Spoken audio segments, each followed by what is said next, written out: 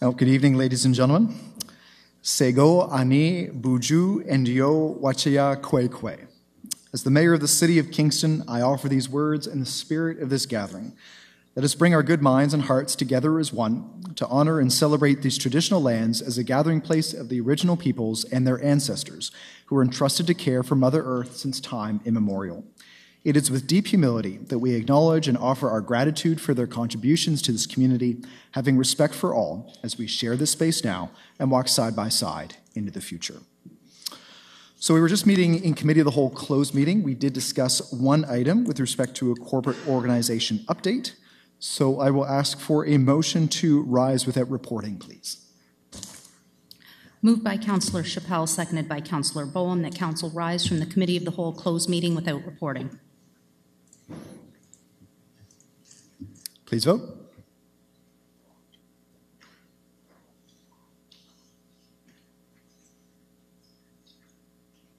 And that carries. Okay, next on to the approval of the addeds. Uh, we have one additional bylaw. Can I ask for a mover for the addeds, please? Moved by Deputy Mayor Kiley, seconded by Councillor Osanic. Please vote.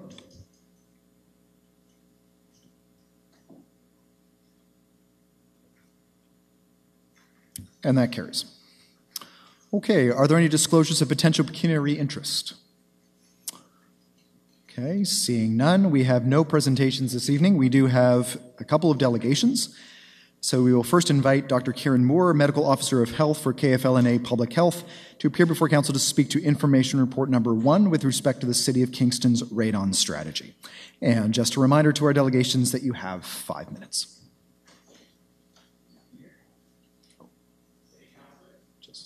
We'll just wait to the.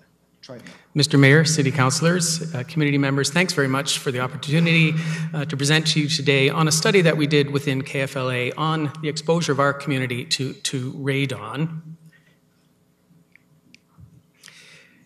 I'm going to give a brief background on what radon is. So, radon is a naturally occurring radio- radioactive gas resulting from the breakdown of uranium. It's colorless, odorless, tasteless, and it accumulates within uh, some of our residences. It's the second leading cause of lung cancer in uh, Canada, and it's only behind smoking. There's a strong link between also smoking and radon uh, that they're additive uh, as an exposure causing lung cancer. I think we all know about asbestos uh, and asbestos association with lung cancer. Radon causes 10 times as much lung cancer as asbestos is, it? and is in a very important exposure in our community, given that it has such a strong association with lung cancer.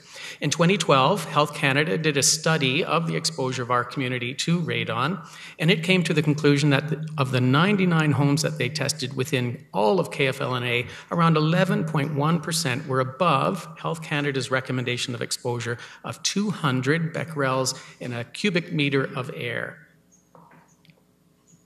We wanted to know how accurate that small study was for our region and whether further action in our community should be taken.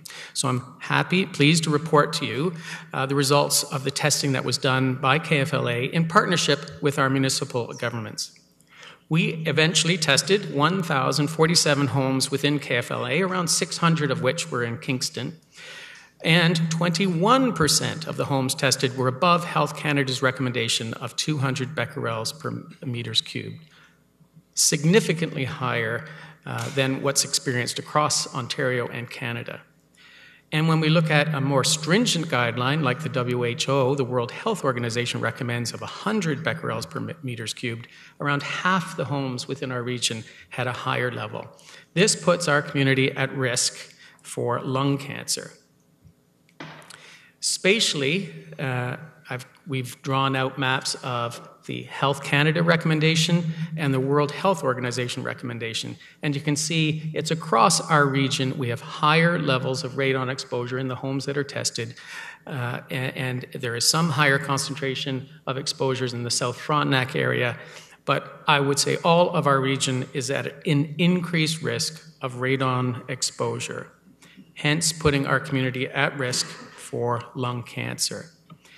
As a result of our testing, we shared that information um, with uh, the, the, city, and in particular with your chief building officers uh, of our region. And I want to commend Lisa Capener-Hunt uh, and her team uh, in the Manager of Building Services group uh, that have created a, um, a radon mitigation strategy. So, a strategy to reduce the risk of lung cancer in our community. Within KFLA at present, we have around 100 diagnosed cases of cancer, lung cancer per year. This is the number one leading cause of death from cancer in our community. And around 16 of those 100 could be reduced if we can bring radon to a lower level. There's no safe level of radon in our homes. Uh, and, and so, uh, the chief building officer has come up with a mitigation strategy. It is preventable, the exposure to radon. We can construct our homes differently to protect uh, our family members being exposed to uh, radon, and that plan has been shared with this council. So you can put in uh, pressurization systems under the concrete floors to move the gases away from entering the home, or you can put impermeable membranes uh, along the concrete home uh, to prevent the gases from seeping in. And uh, these strategies have been put in play, I believe, for September. Uh, and over time, we should see a reduction in lung cancer rates within our region as a result of this forward thinking, proactive prevention strategy. So, my goal today was to share with you the results of our testing, to commend uh, the city for taking action to mitigating the risk of lung cancer, and to encourage further testing of all members of our community for the houses that currently exist. KFLA will be uh, providing uh, radon testing kits at a reduced cost of around $20 per kit starting in November this year. Uh, and we'll try to uh, provide as many kits as community members uh, will take up as long as we can afford it. So I can stop there and take questions from council. Great, thank you very much. Are there any questions? Deputy Mayor Kiley. Thank you, Mayor Paterson. Through you. In your research, was there exploration of other municipalities that might have similar levels of radon? And if so, what they've done to address it? So, uh, thank you very much through you, Mr. Mayor. Uh, there have been other communities that have tested uh, for radon, including Windsor and Thunder Bay regions, uh, and, and many of them are adopting mitigation strategies. The Ontario Building Code recommends that you can take this up. But there's only been a few uh, municipalities that have taken up this new mitigation strategy to reduce communities' exposure. So, again, a, a reason I wanted to present on behalf of our agency to commend uh, the city for taking these mitigation uh, strategies. Thank you. Thank you, Councillor Ostroff. Thank you, Mayor Paterson, and thanks for your presentation. Did you say the mitigation factors for existing homes is, uh, was air exchange, or what did you say? So, very good point. I want to be clear. These are uh, the strategies that have been put in place are for new homes yeah. that will be developed uh, and approved after uh, September 1st. Uh, for existing homes, we recommend at KFLA that the home gets tested and that if your levels are above acceptable ranges, so above 200 becquerels per meter cubed, you would seek out an expert, uh, radon uh, expert, that could help you reduce the exposure of, of your family uh, to radon. Thank you. Councillor Senek. Thank you, Your Worship, and thanks so much for this information.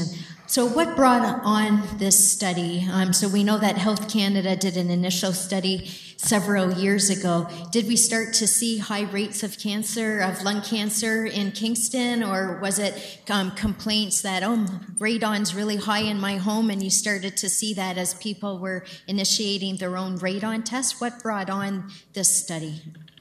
So, through you, Mr. Mayor, um, we had multiple presentations to us at the health unit regarding uh, concerns of uh, community members as well as builders and those that have been tasked with remediating homes. I actually tested my own home, which is relatively new, and found that my levels were exceptionally high. Uh, and, as well, uh, the standards by which public health must work said that we should address radon. It was the first time it was put in our regulation that we must, at a local level, address it, uh, and hence the reason we invested uh, to test further our community exposure to this known cancer causing agent. Thank you. And just a follow up question Is there going to be a follow up study in maybe five years, or what will happen? Like, I know it said in the report that people should take their own initiative to you know implement the mitigation measures and then get it retested. But would there be an overall study like you just done have just completed in um, you know five years time or so through you, Mr. Mayor, I think that's a gr- great suggestion. Uh, as you know, public health is being restructured, uh, and our responsibilities for radon may be taken away from us, so I can't make any commitment. Um, we also are studying knowledge, attitude, and beliefs of members of our community uh, regarding radon so that we can increase the awareness of it, because we know not many people are aware that it's a known cancer causing agent, that, and there are prevention strategies for it. Uh, I will take away your suggestion uh, to our board uh, and, and strongly suggest that that we have an ongoing communication and education strategy with our public. Uh, thank you. Councillor Chapelle.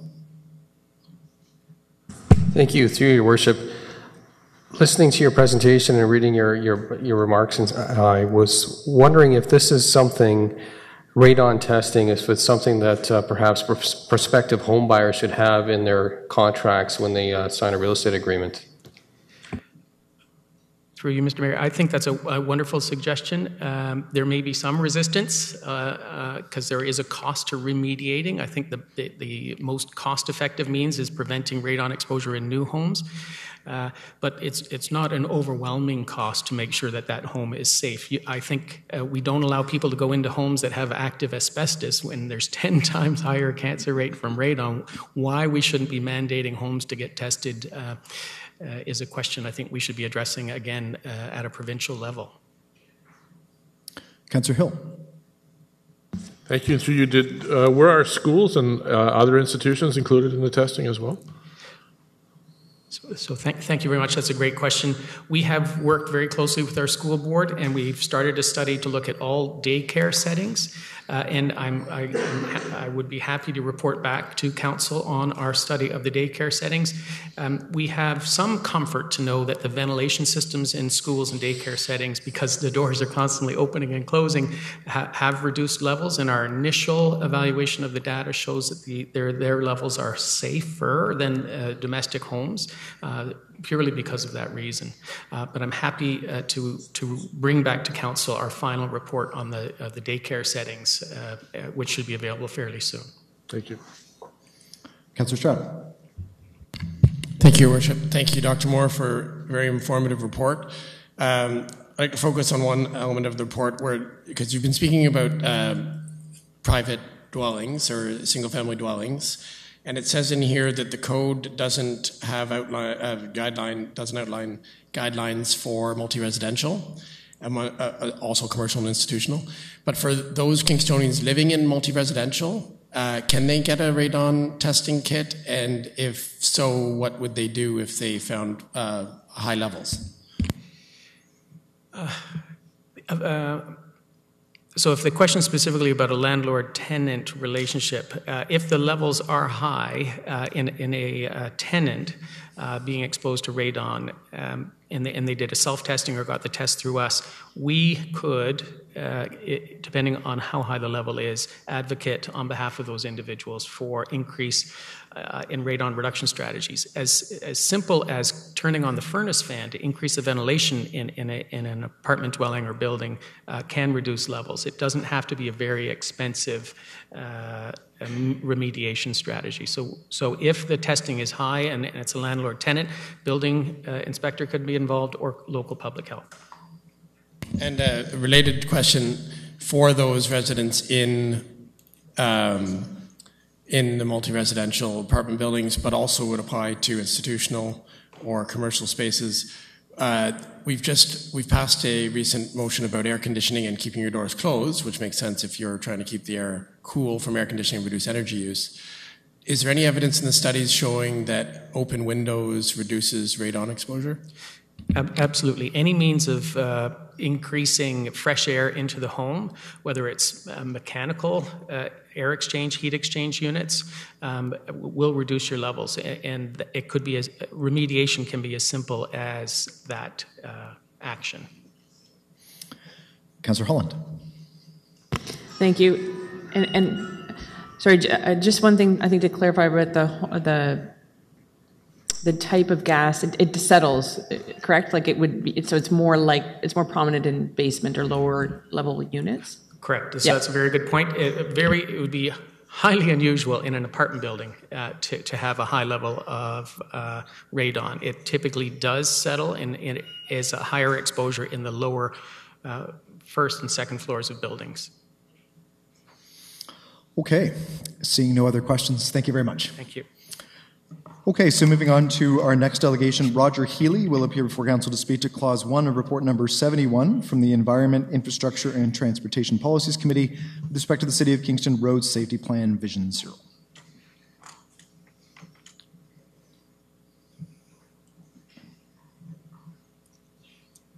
Thank you, Mr. Mayor, Council, members of the community. Um, I'm here to talk tonight about uh, the Vision Zero uh, that will be coming up later on in your meeting. Um, I'm, I represent uh, Kingston Coalition for Active Transportation. We've been um, working on this, I've been on it for 10 years, so uh, we're working with the city and, and uh, health unit and, and uh, schools in Queen's to try to try to influence um, um, better road design and uh, and more active transportation. And cities moving along very nicely on that. Um, the three things that I'd like to that I think we, we should focus on, and we'd like you to focus on, uh, to achieve Vision Zero is to prioritize uh, speed reduction, and uh, secondly, design roads for lower speeds. And I think uh, we have plenty of examples of that. And and the third thing that may seem counterintuitive is is it, it actually improves traffic flow. Uh, here we have a picture of a famous uh, Dutch uh, roundabout, and it's, it's different from typical North American roundabout because it's it segregates all road users, and I'll, I'll come back to that in a minute. Um, the uh, oops, this thing seems to be oh, sorry. Okay, I don't know if these slides are in the same order I'm used to, but anyway. Um, the Netherlands uh, happens to be uh, one of the, one of the, pla- the places with the happiest road drivers. Actually, the road users of all these uh, countries, uh, rated by uh, an app called Waze, which uh, tries to uh, rate road driving. And yet, and also the Netherlands has uh, the, one of the highest, probably it is the highest uh, active transportation. Uh, these are bicycle uses only, and when you add walking and uh, other forms of active transportation, they're over 50% in the Netherlands. And uh, I think we can learn a lot from that. You notice Canada way down here and the US down at 1% bicycling. Uh, the thing that moved um, the Netherlands, the Netherlands didn't, wasn't always uh, a, a haven for bicycles. If you look along the, this is starting from post war 1950 on the lower axis. Uh, they had it, like everyone else in Europe, a very high car culture and started adopting that, and they, they had terrific road deaths, uh, leading to 3,500 road deaths per year. And uh, um, but they they had a, a big re- revolt in the Netherlands and said we've got to do better. And so you see where they are now. In 2010, they're down to 500. So they went from 3,500 to 500. Um, we've we've had some examples of of how road design can can happen, and it, it actually happened accidentally. I live on the corner of Beverley. I live further up Beverley Street, but at Beverley and King, when the park was improved at, at Breakwater Park, it became a, a crisis zone for pedestrians darting across, and there's no no stop. Uh, but the the city immediately put up these. Uh, paddles that force people to slow down, and it worked quite quite effectively as a as a stopgap measure. And now there's a pedestrian crossing there. but the main things we have to deal with are uh, horizontal deflection, vertical deflection, narrower lanes, textured road surfaces, and peripheral features like bollards. So there's some examples of that. Uh, bollards, uh, textured surfaces, much like you have around Market Square here. They're, they're actually beautiful and they're effective. Narrower lanes, raised intersections, so it's like a, a table, it sort of warns drivers. And then, of course, our roundabouts. 30 seconds. Okay. Um, the, the, so designing the road, it's in the preamble of the document. Uh, we design the roads to protect road users, and it's not enough to just change the the speed limit. The speed limit itself will be ignored if if the road allows people to speed. And there, unfortunately, is the gruesome probability of death by collision. If you look at anything over 20 kilometers, 30 kilometers an hour, you have a very high likelihood of becoming uh, a statistic. Thank you very much. That's it. Are there any questions from council? Uh, Councillor Stroud. Yes, so, and I remember um, at committee, uh, there was also a couple delegations to, uh, to this effect. Um, you've been working with staff through your advocacy on uh, this uh, active transportation document and now implementation plan. And I was wondering uh, if you could just identify one or two areas that you think um, maybe we need to prioritize as we roll out this implementation plan, especially ones that maybe aren't clearly spelled out in the current document. Well, um, the, the whole notion of separation of the vulnerable users from the, the high traffic areas and the high speed areas, and again, I, I keep referring to speed reduction, but um, that's that's in the active transportation implementation plan, which you'll deal with later. Uh, but uh, I think that's one of the keys, and then the other the other element of that plan which maybe gets overlooked a little bit, is the, is the whole neighborhood uh, focus. Um, if neighborhoods get engaged in in finding out how they best get around their neighborhood, uh, they can tell city staff what needs to change. And it's not, and and I think a lot of it will come down to speed reduction in a way, but. Uh, but as I've said, with de- proper design, you can you can approach some of that speed reduction will actually improve traffic flow. Councillor Doherty. Thank you, and through you, Your Worship. Um, now, Sir John A. Macdonald would be the perfect example of a, of a road where lowering the speed limit isn't uh, isn't enough. But I wonder if you could expand on that comment. Uh, yeah, um, well, as we know, maybe in the last year and a half, uh, some road signs were put up, a flashing yellow, telling you your current speed, and it was always above the, the now prescribed speed, speed of 50 kilometers per hour. Um, and but the unfortunate side, uh, the real problem is that Sir John A was designed like a miniature 401, and uh, you, you know, as a driver, you just want to go fast on that road, and so you don't have cues that tell you to slow down.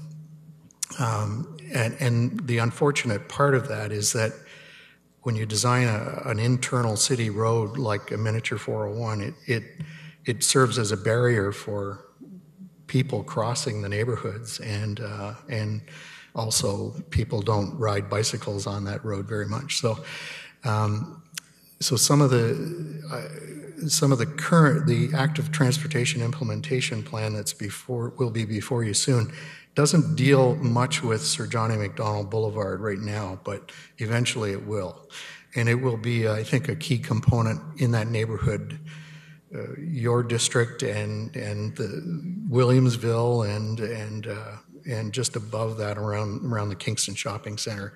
I think those are areas that are crucial for. Uh, there's a lot of schools there, a lot of a lot of people moving back and forth to Queen's, as you know, and uh, and St. Lawrence College. So uh, they're they're highly uh, used areas, but Sir John A. Macdonald is, a, is really a barrier in a lot of ways. Uh, Councillor Neill. Thank you, and thank you for your presentation. Um, quick question regarding one-way streets. Uh, the two streets in my district, and one of them is shared with Councillor Stroud's district, are one-way streets, Brock and Johnson, and they seem to be speedways. I know under new urbanism and uh, street smart uh, and other um, they've addressed the issue of one way streets, multi lane one way streets, and discouraged them. Um, do you have any comments or reflection on, on that issue? Um, that's a tough one. When I first moved to Kingston, Queen Street was a one way street, and uh, it was converted to two way, and I think I still find myself, even after 25 years or whatever, 30 years, you know, not being sure. Um, so it's a very tough thing to, to try to change. That that's for sure. I, I know that personally, but but uh, with the new uh, bollards that have been put on on Johnson and Brock. Um, they've had a dramatic effect, and I've, I've had people tell me a lot that they've really noticed a slowdown of traffic.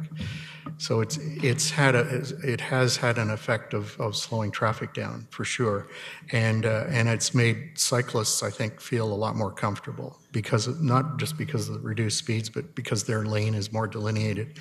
So uh, it, you know when it comes to if you wanted to switch Johnson and Brock to two way. Uh, I think you'd, you'd, have a you'd have a lot of uh, a lot of people uh, wondering about that, but but it, it, could be done, and it would be an interesting experiment. Councillor Oosterhof. Very diplomatic. Thank you. Thank you, Mayor Paterson. Um, I know most of this is uh, urban focused. Uh, have you had successful ideas in in the rural areas and um, some of our thoughts and uh, questions are for paved, more paved shoulders to give the bikes uh, more room, and uh, also walking. Uh, you know, families and uh, just just that alternate tra- transportation or modes of, of, of moving around. And and that's one question. And the second one related to: Do you see success stories uh, for us to consider in in the plan as well, but for roundabouts? Uh, well, I'll deal with the roundabouts one right away uh, because there are some new ones being added to Centennial. They're they're right now in place uh, along the Centennial extension, and you might want to when when that road opens up, you might want to check them out and just see that they're actually pretty well designed and and I think they'll be quite successful. Um, getting back to the question about rural areas. Um, paved shoulders for sure are very important, especially for people walking dogs and you know kids walking to school and stuff. And uh, I think the minimum you have to do is pave the shoulders. But um, uh, as far as uh, um, other issues with the rural areas. Um, uh, the, the, I think the questions really become, uh, you know, who's who's using it. So you really should th- talk about separated pathways. You know, the the K&P Trail is wonderful out there, and uh, and you'll see a lot of people using that, and that becomes their focus for dog walking and family activities. So. Uh, focus more on off-road trails for, for now because the space is there.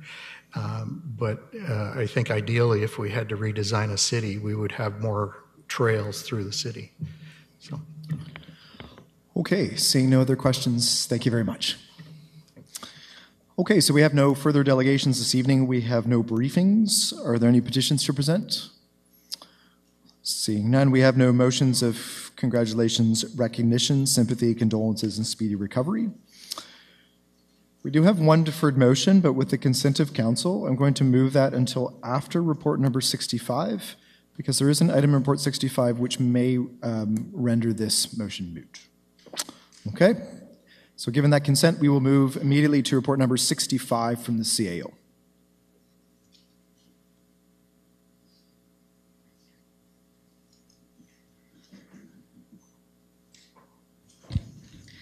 Moved by Councillor Hill, seconded by Councillor Osanic, that report number 65 from the CAO consent be received and adopted. So there are 10 clauses. Would anyone like any of the clauses separated? Councillor Stroud. Number five, number six, and number seven, please.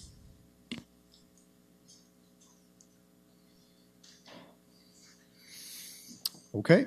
Seeing no other separations, we will first vote on the balance of the items.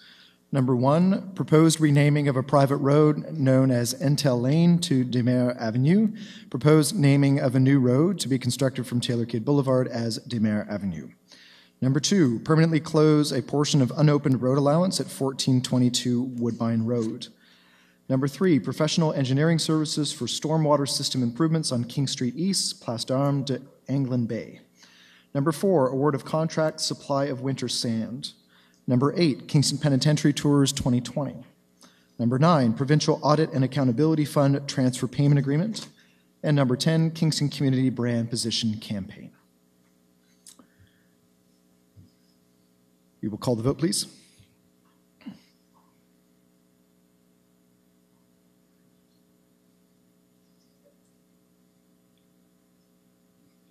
And that carries.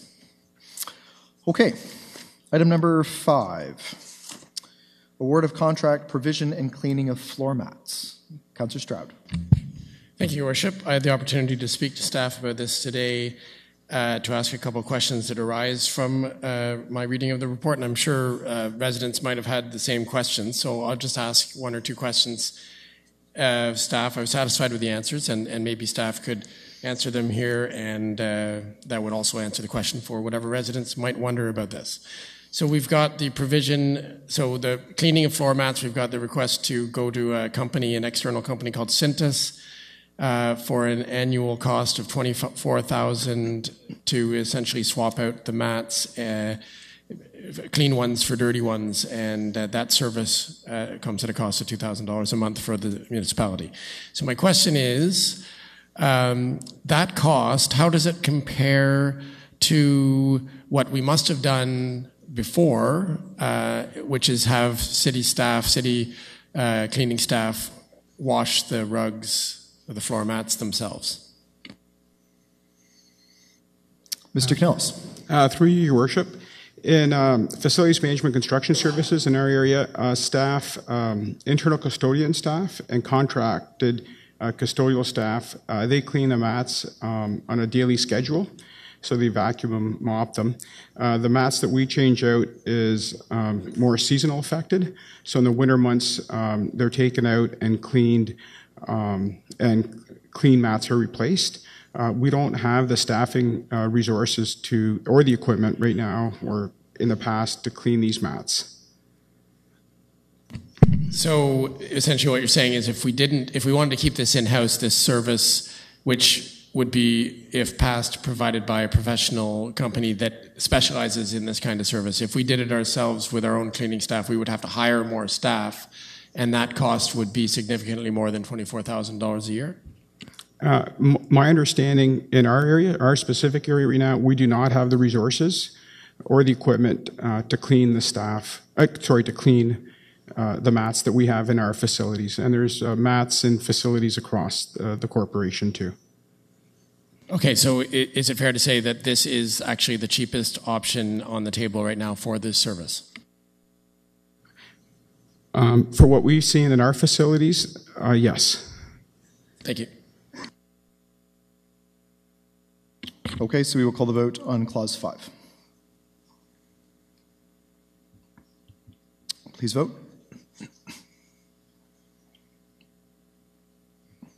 And that carries. Okay, clause six, award of contract, British Whig Building roof replacement. Councillor Stroud. Thank you, Your Worship. This is a, I have similar questions on this re- re- regarding cost and rationale, but it's a larger budget item, so I guess um, well, hopefully we'll uh, get some more answers. It, I believe it's also facilities department. So I read the report. Um, there's ongoing uh, leaking in the roof of the British Whig, Whig building, that, and uh, all attempts to mitigate have not provided a leak-free roof. That's what it says in the report.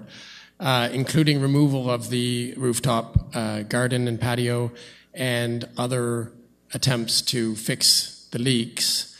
And so now the recommendation is to replace the entire roof uh, at significant cost. So my first question is, did uh, city engineering staff examine the facility and give us an opinion? Mr. Kanellos? Uh, yes, various consultants and contractors have looked at the roof since uh, well before 2014.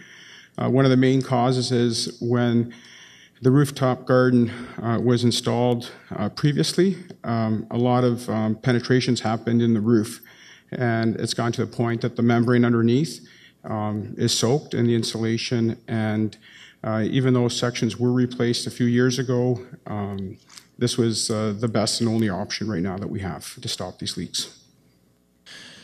Thank you. So I, I assume the consultant um, that recommended roof replacement is not necessarily the same as the contractor that would do the replacement. Is that correct? Uh, correct. And um, and it's not possible to simply replace the membrane without replacing the entire roof. Um, correct. A lot of thought and work has been put into this over the last six, seven years, but um, uh, just how the construction occurred many years ago, uh, prior to the city owning the facility, um, there's a lot of leaks from skylights to um, where rooftop units are, and the curbing, and even the units themselves, to the actual membrane itself, uh, to even how the flashing was installed. Um, there's a lot of challenges with the roof. Okay, my final question has to do with the timing and uh, budgetary implications of the cost. So it, it sounds, the rationale sounds uh, uh, fair to me uh, that replacement may well be our only option, and that is the cost, so that's not in dispute. The question would be if this was not foreseeable um, for the budget year and why it was not included in the budget uh, uh, amounts for, uh, for facilities? Uh, it was included in the budget, but the cost came back as more investigation occurred uh, that there were significant um, challenges with the roof.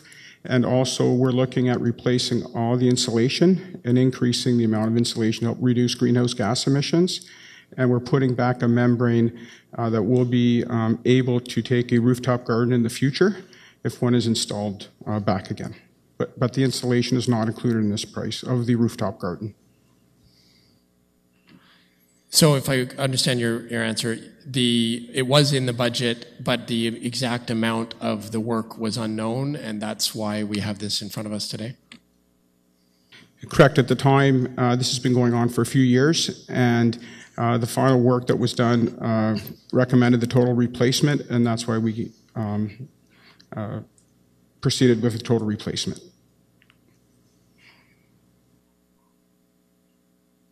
No, no further questions. Thank you. Okay, so we will call the vote on Clause 6. Please vote.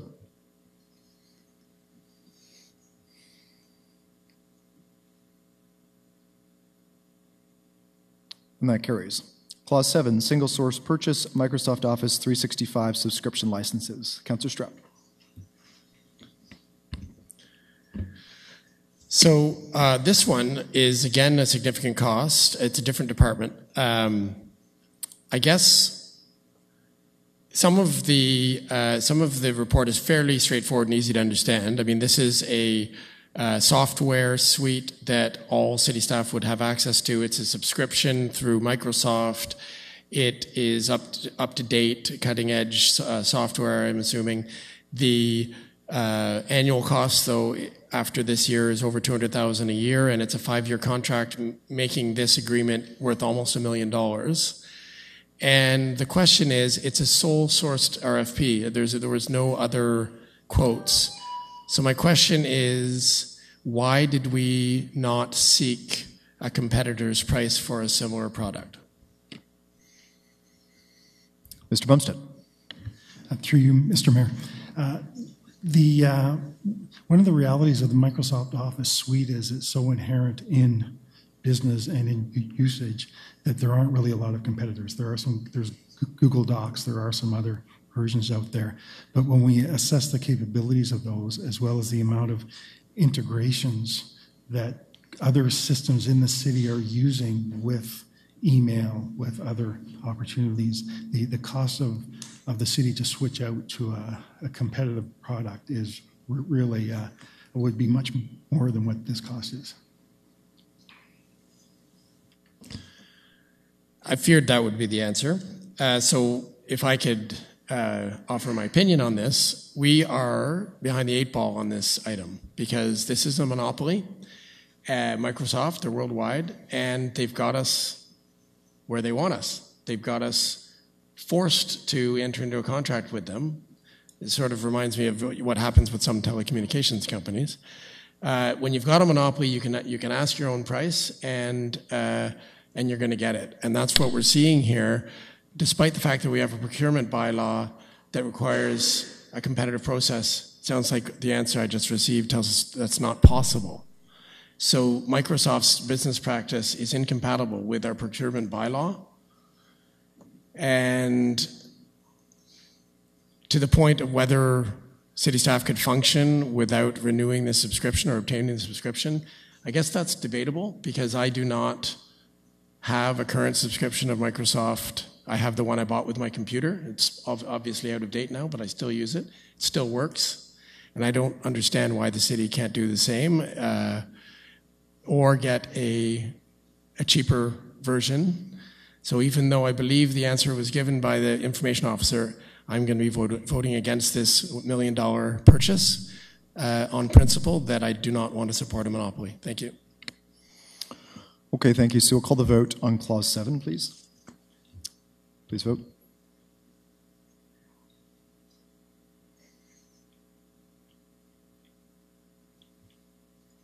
And that carries by a vote of 10 to 3. Okay, so just a note that our deferred motion is now moot, and so it's effectively been uh, ruled out of order. So we will move on to report number 66 from the CAO.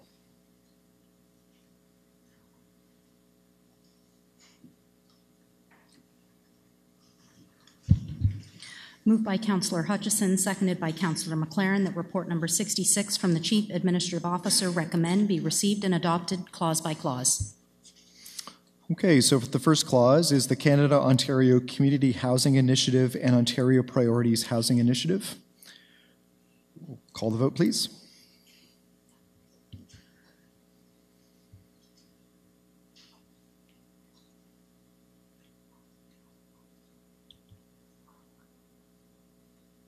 And that carries.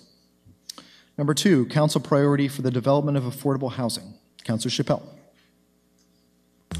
Yes, you, Mr. Chair. I recall when this uh, discussion of affordable housing had come up in strategic planning, as well as when we allotted $18 million towards our budget with respect to the development of potential partnerships for affordable housing. And the question I asked if this opportunity would also be presented to the private sector because $18 million is a lot of money. And my under interpretation of the $18 million is that it would be coupled with some sort of leveraged program with the federal or provincial government. So my question to the CAO then is, why are there no representations from the private sector for this opportunity if we are to uh, proceed with affordable housing at 316 and 318 Princess Street? Interim CAO Hurdle.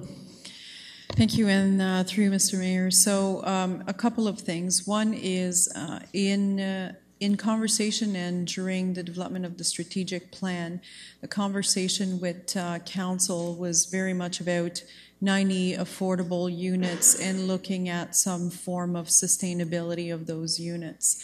Um, there's nothing preventing us from working with the private sector, but typically the private sector looks for um, time frame that are not necessarily permanent or sustainable in the long term. Uh, they are usually looking for 20 years or less in terms of guarantee for affordable housing. Having said that, there's nothing preventing us from working with the private sector. It would probably not be in the same um, at the same level of funding as what we would look for uh, providing to non-for-profit because of the time frame, the period of affordability, and it could most likely be on another site. So the report does identify that the city will work with partners, not just on 1316 Princess Street, but also other properties, um, including uh, non-for-profit uh, potentially properties. So it's not only limited to to this uh, parcel of land. Just for clarification, there was was there any discussion with private sector potential partners for development of this site? Thank you, and through Mr. Mayor. Not for this site. There has been a conversation with a private sector that is interested in building affordable housing on another site, um, and uh, we will have further discussion with that uh, private sector uh, developer. Okay, next on my list is Councillor Neill. Thank you. And I did share some questions with staff earlier today, um, but I just want to uh, get some of this on the public record, if I might. Um, what will be the net additional affordable units anticipated on this site uh, for the uh, potentially for the $18 million? Interim CEO Hurdle. Thank you, and through you, Mr. Mayor. So I'm going to separate the two. The 18 million, what council directed us to do was to look at 90 units, um, and I would assume that's a minimum. Um, so those would be additional new units that would be created. Those units don't necessarily all have to be located on 1316 Princess, and that, that was part of, of, I think, the content of the report indicating that we are going to be working with partners, including non for profit, that may have other properties where they may be interested in building affordable housing. So the number was the one that council directed us to achieve, and the properties themselves, I mean, would include 1316 Princess Street, but not necessarily be limited to that property. Thank you. Um, so we really don't yet have a handle or a clear idea, do we, on what the anticipated cost per unit for affordable housing might be? Or do we have a certain target uh, in mind? Thank you, and through you, Mr. Mayor. So, based on, and this is just looking at what Kingston Frontenac Housing Corporation built in the last um, few years, I think the um, the range was between 160 to, to 200 based on uh, the size of the unit. So it varied, um, and it could be also uh, depending on the site. So that's what we would assume in terms of costs, and those would be the dollars we would probably consider and contemplate for permanent affordable housing, meaning if it's an organization that's going to provide um, those units on a permanent basis. Um, of course, all of that would have to be reported back to council and approved by council in terms of the funding allocation and agreements. You anticipated my next question. I appreciate that uh, all of this will come back to council. Um, I guess my primary concern, um, we've purchased this property, oh, a decade ago, almost. And I know that there are issues with the property. Uh, and I'm just concerned that we aren't kind of anchored to this developing this property kind of at all costs because we now own it. And I'm, I'm, I don't know if that makes sense, but if you could address that, those concerns. I mean, at some point in time when we do our due diligence, if the cost per unit, given what might be remediation and other costs attributed to this site, I think I'd, I'd be reassured if we uh, have a step back option within this. Thank you, through Mr. Mayor. I'll, I'll start and, and Mr. Huigenbos uh, can definitely add in terms of the property itself because his team worked on the acquisition and the record of site condition actually. So there's been a lot of work done on the property. I'm assuming, Councillor, that you might be referring to some very high level estimates that have been floating around without a whole lot of necessarily background information connected to them. Um, so we, we have um, we are currently working uh, through that, but we have been doing uh, due diligence as part of the process. Okay. Councillor Stroud. Thank you, Your Worship. I have a couple of questions. I had, I had a chance to speak, uh, have a really good conversation with Mr. Laidman on, on this, so I, um, I was happy to learn a few things. And I, I just think that some of these things, the, the, the citizens will want to hear too. And so I'm going to ask you a few questions to that effect. First of all, so the on the on the uh, this the basic strategy here. I mean, it's clear to us. We've we talked about it before in strategic planning. We've seen the report and everything. But for those who are just tuning in, the basic strategy here is the city's acquired land is going to develop it, and with the help of uh, these non-profit, non-for-profit partners, uh, get as many affordable units as we can in this in this space, which uh, the preliminary work uh, indicates 164 units total are possible on the site. So that is a known number. Uh, one of the unknown, some of the unknowns and the need for further reporting is around uh, how, what is feasible with the not-for-profit model, which types of affordable units, RGI versus percentage of market rent, and so on, different types of affordable, and there's at least three types that I discussed today with Mr. Laidman. Um, so maybe we could get a, rundown on that, uh, just so that we would know what we're looking, what numbers we're going to receive in the future, so we have we're, more comfortable supporting this. And then the um, the 90 added units. So the council direction uh, with the at, at strategic planning and with the budget motion were to add 90 units of affordable housing. And so the question would be. If this uh, if this project isn't shown to be feasible to add the full 90 units, uh, what else can we do to get to that number of 90 and what will that look like? And then the other question being re- regarding the Rideau Heights units that are RGI units that are being moved here eventually, hopefully, with the model.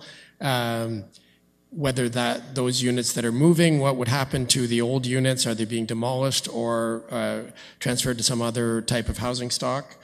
And then finally, as part of that first question, um, the various types of affordable. So there's RGI units, there's percentage of market rent, and I discussed two percentages today, 60 and 80.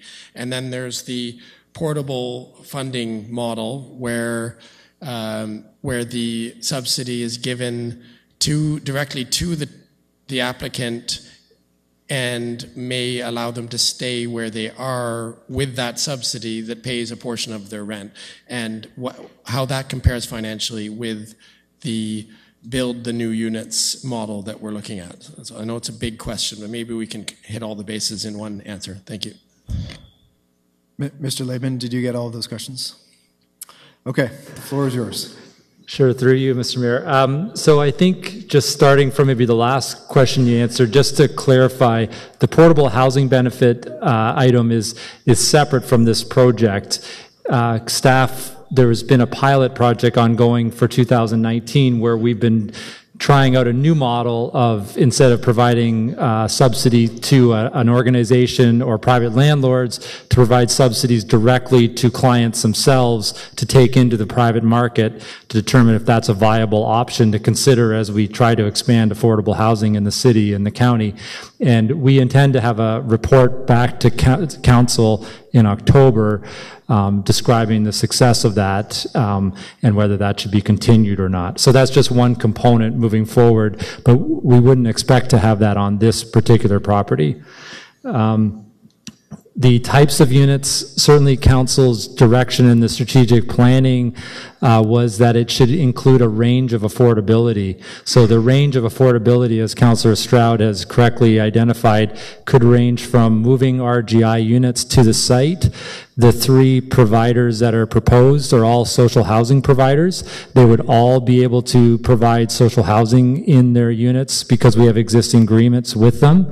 Uh, the intent would be to move a number of affordable of RGI units from Rideau Heights to accomplish the Rideau Heights regeneration strategy to move 100 units, which we're already in the 30 to 40 range already. Um, so it would be a range of affordability from RGI to 80%. Um, Part of the um, implementation plan that we've committed to by, in the recommendation is that that range of affordability would be nailed down as we worked with our partners to determine how many units could be feasibly provided at each type of affordability. And obviously, that would include a financial analysis, pro forma analysis of the various development proposals to determine how much at various levels we can provide and make the units sustainable in the long term. I believe you had maybe one other question that I probably haven't answered yet. Yeah, so to clear, just to reassure us about um, the original motion that asked for 90 added units of affordable housing, and if some are moving from Rideau Heights, then are we losing those units in, in, in Rideau Heights, or what's happening? Because it's 90 added units, so net 90 added. So how does that all fit together? Sure. So through you, Mr. Mayor, um, correct. It's it's it's understood by staff that it's a net 90 new units. Certainly, those units that are moved from from Rideau Heights. We have already started to do it through the Portable Housing Benefit Program as well, and have allowed KFHC to return them to what we would suitably call market. However, due to the nature of the market in those areas, they remain affordable at the 80% level still. So they, so there will be a net 90 u- units provided, um, and th- those units that are remaining in Rideau Heights, um, they'll be turned over to market, but realistically, they'll still be at the 80% affordable rent unit level. Okay, so you you seem to just say that you're you seem confident that this project at this site, despite the fact that we don't know all the details of feasibility, should be able to support 90 new affordable units of various uh, types through the spectrum. Interim CEO Hurdle. Thank you, and through you, Mr. Mayor. So the, the 90 units may not all be located at 1316 Princess Street. We have a partner, for example, that we're, we're trying to work with um, that actually owns other properties, and they're interested in building on some of their properties. So there may be a portion of the 90 that gets built on some other properties. So it doesn't mean that all the 90 will actually be at 1316 Princess. Okay, so with that answer, then am I correct in assuming, though, that when we get the next report, will it'll be clearer where we will make up the rest of that 90 or where what we can pursue to get the rest of that 90, hopefully by the end of this council term? Thank you, and through you, Mr. Mayor, absolutely, and it will be before the end of the well before the end of the council term. Okay, thank you very much for those detailed uh, responses. I would just say to my colleagues that obviously with the housing crisis and general affordability and everything and the national headlines that we're generating here in Kingston on this, uh, this is very, very important. Uh, and I don't need to tell you that. But because of this, I think that the nuance that we've gone over today 30 seconds. And the way that we're, we're getting more, what I like is the last clause. The last clause tells us that even though we don't have all the answers now, we will be getting them, and we're moving towards more affordable housing stock. And for that reason, I will be supporting this uh, these recommendations. Thank you. Thank you, Councillor Hutchison. Thank you, Mr. Mayor. Um, just to be clear, but I think that was clear, but there's another way of looking at it. And that is the original proposal suggested 30 RGI, 30 affordable, and 30 market. So we might understand that the 30 RGI will not necessarily be at 1316 Princess Street. It's sort of the flip side of the question that was previously asked, but I'm not sure the answer is uh, symmetrical. In, in, the, in the council's strategic priority thing, I'm not going to quarrel about that. It says 90 affordable units. And in fact, in a way, staff have actually improved the proposal. Okay, let's be clear about this by saying they're going to make all the other ones affordable. What I'm concerned about is the fate of the 30 RGI units that was in the original proposal. Because that covers a whole section of the population and why it was in that in the proposal. The market units that were called for in the original proposal were there to make sure that the RGI units were affordable, like from a from a project point of view. So I'm just trying to figure out what's happen, happening, what the thinking is around the 30 RGI. Not necessarily saying I disagree, I just don't think the information is there. Interim CEO Hurdle. Thank you. And through you, Mr. Mayor, I just so happen to have Exhibit A of the strategic plan with me. And I do have the measurable listed here for this item, and it reads minimum of 90 affordable units ranging from RGI to 80% CMHC market rent within a 160 approximately housing unit development at 1316 Princess Street. Land use planning and development approvals agreement were in 2019, 2020, and construction in 2020, 22nd. So there's no specific reference in here in regards to 30 RGI. Now, I know, Councillor Hutchison, that you did raise that point in discussion, but it wasn't specific in the, um, in the actual implementation plan. No, and I agree with that. What you just read, I agree. That's exactly what it says. The, the point is because the point of the original proposal was because we have a housing crisis for say 80% of the population or potential population looking for a home of some sort. Um, the proposal was about 30 market, 30 affordable, and 30 RGI because I thought that would address all three sections of the fragmented market that we face and would allow for the, we would need those 30 RGI because the people at the bottom are the ones that are most acutely affected. So what I'm trying to find out is, in the thinking of staff, where did those 30 RGI units go? Are they going to be there at all? And that's an issue if they're not there at all. So I'm, just going to jump in for a moment here. So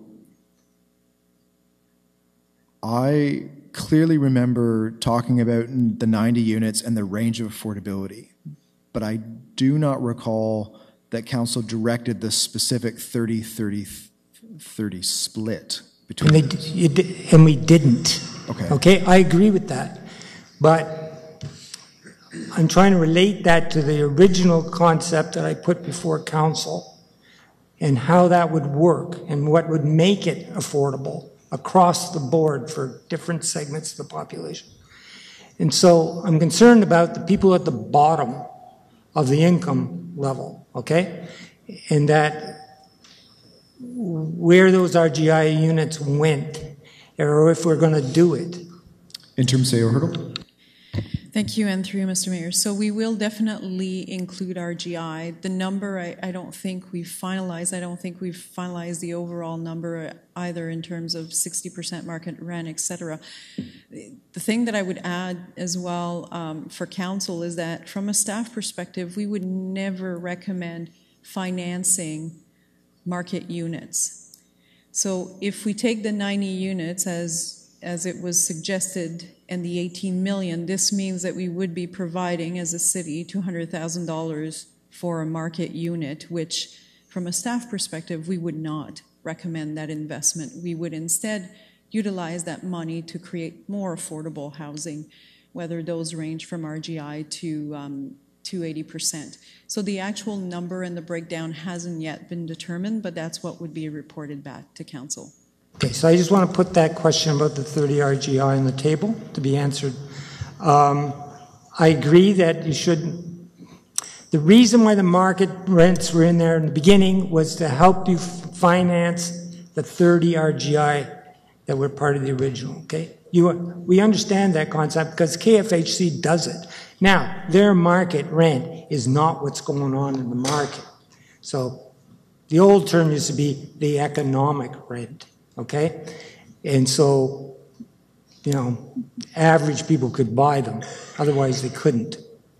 Back in mid 80s, okay? So I just wanted to say that. And if I got a, a minute here, I just want to make a point about affordability and why not the private sector. And that is, we've done this for years. We put a certain amount of money into uh, private developments at about sometimes $50,000 a unit. And for that, they agreed to give us uh, or uh, give us more affordable units or allow us to have RGI units in those buildings for sometimes 12, sometimes 15, or as this interim CAO said, 20 years. It's about as far out as you can get. The problem is after 20 years, those units lapse. They are no longer, and then as people move out, uh, they become full market because there's no rent control on, after move out, right? So when you're comparing the price of what you're paying and what you're getting, you need to measure that model against the not for profit model, which is essentially you uh, put your investment in as, as a government and you get it in per, per, perpetuity, like forever. Or, in more practical terms, 50, 60, 70 years. They're going to be affordable, they're permanent. Now, to the taxpayer, what does that mean? To the taxpayer, they paid that 50,000 or millions of dollars into those private de- developments over time. Uh, they, they, they paid for that in their lifetime and it lapses after 20 years. So if you live to be 80, you'll get to pay for the same amount of affordable housing four times in your life. So what's the better deal? Clearly, I've done the money, I've done the analysis. The better deal is the not-for-profit. Because you still got it at the end of 60 years, and hopefully 30. you've added to it. 30 seconds. And so it's important to look at the whole rollout to see what's more affordable to the taxpayer. I realize that's not the only thing we're looking at here. we got a crisis, but it's if you're talking about the spending money wisely, the not-for-profit route works better. And most developers don't want to do it because it doesn't maximize profit, obviously. Right? So thank, Thank you. you. Okay, we will call the vote on Clause 2. Please vote.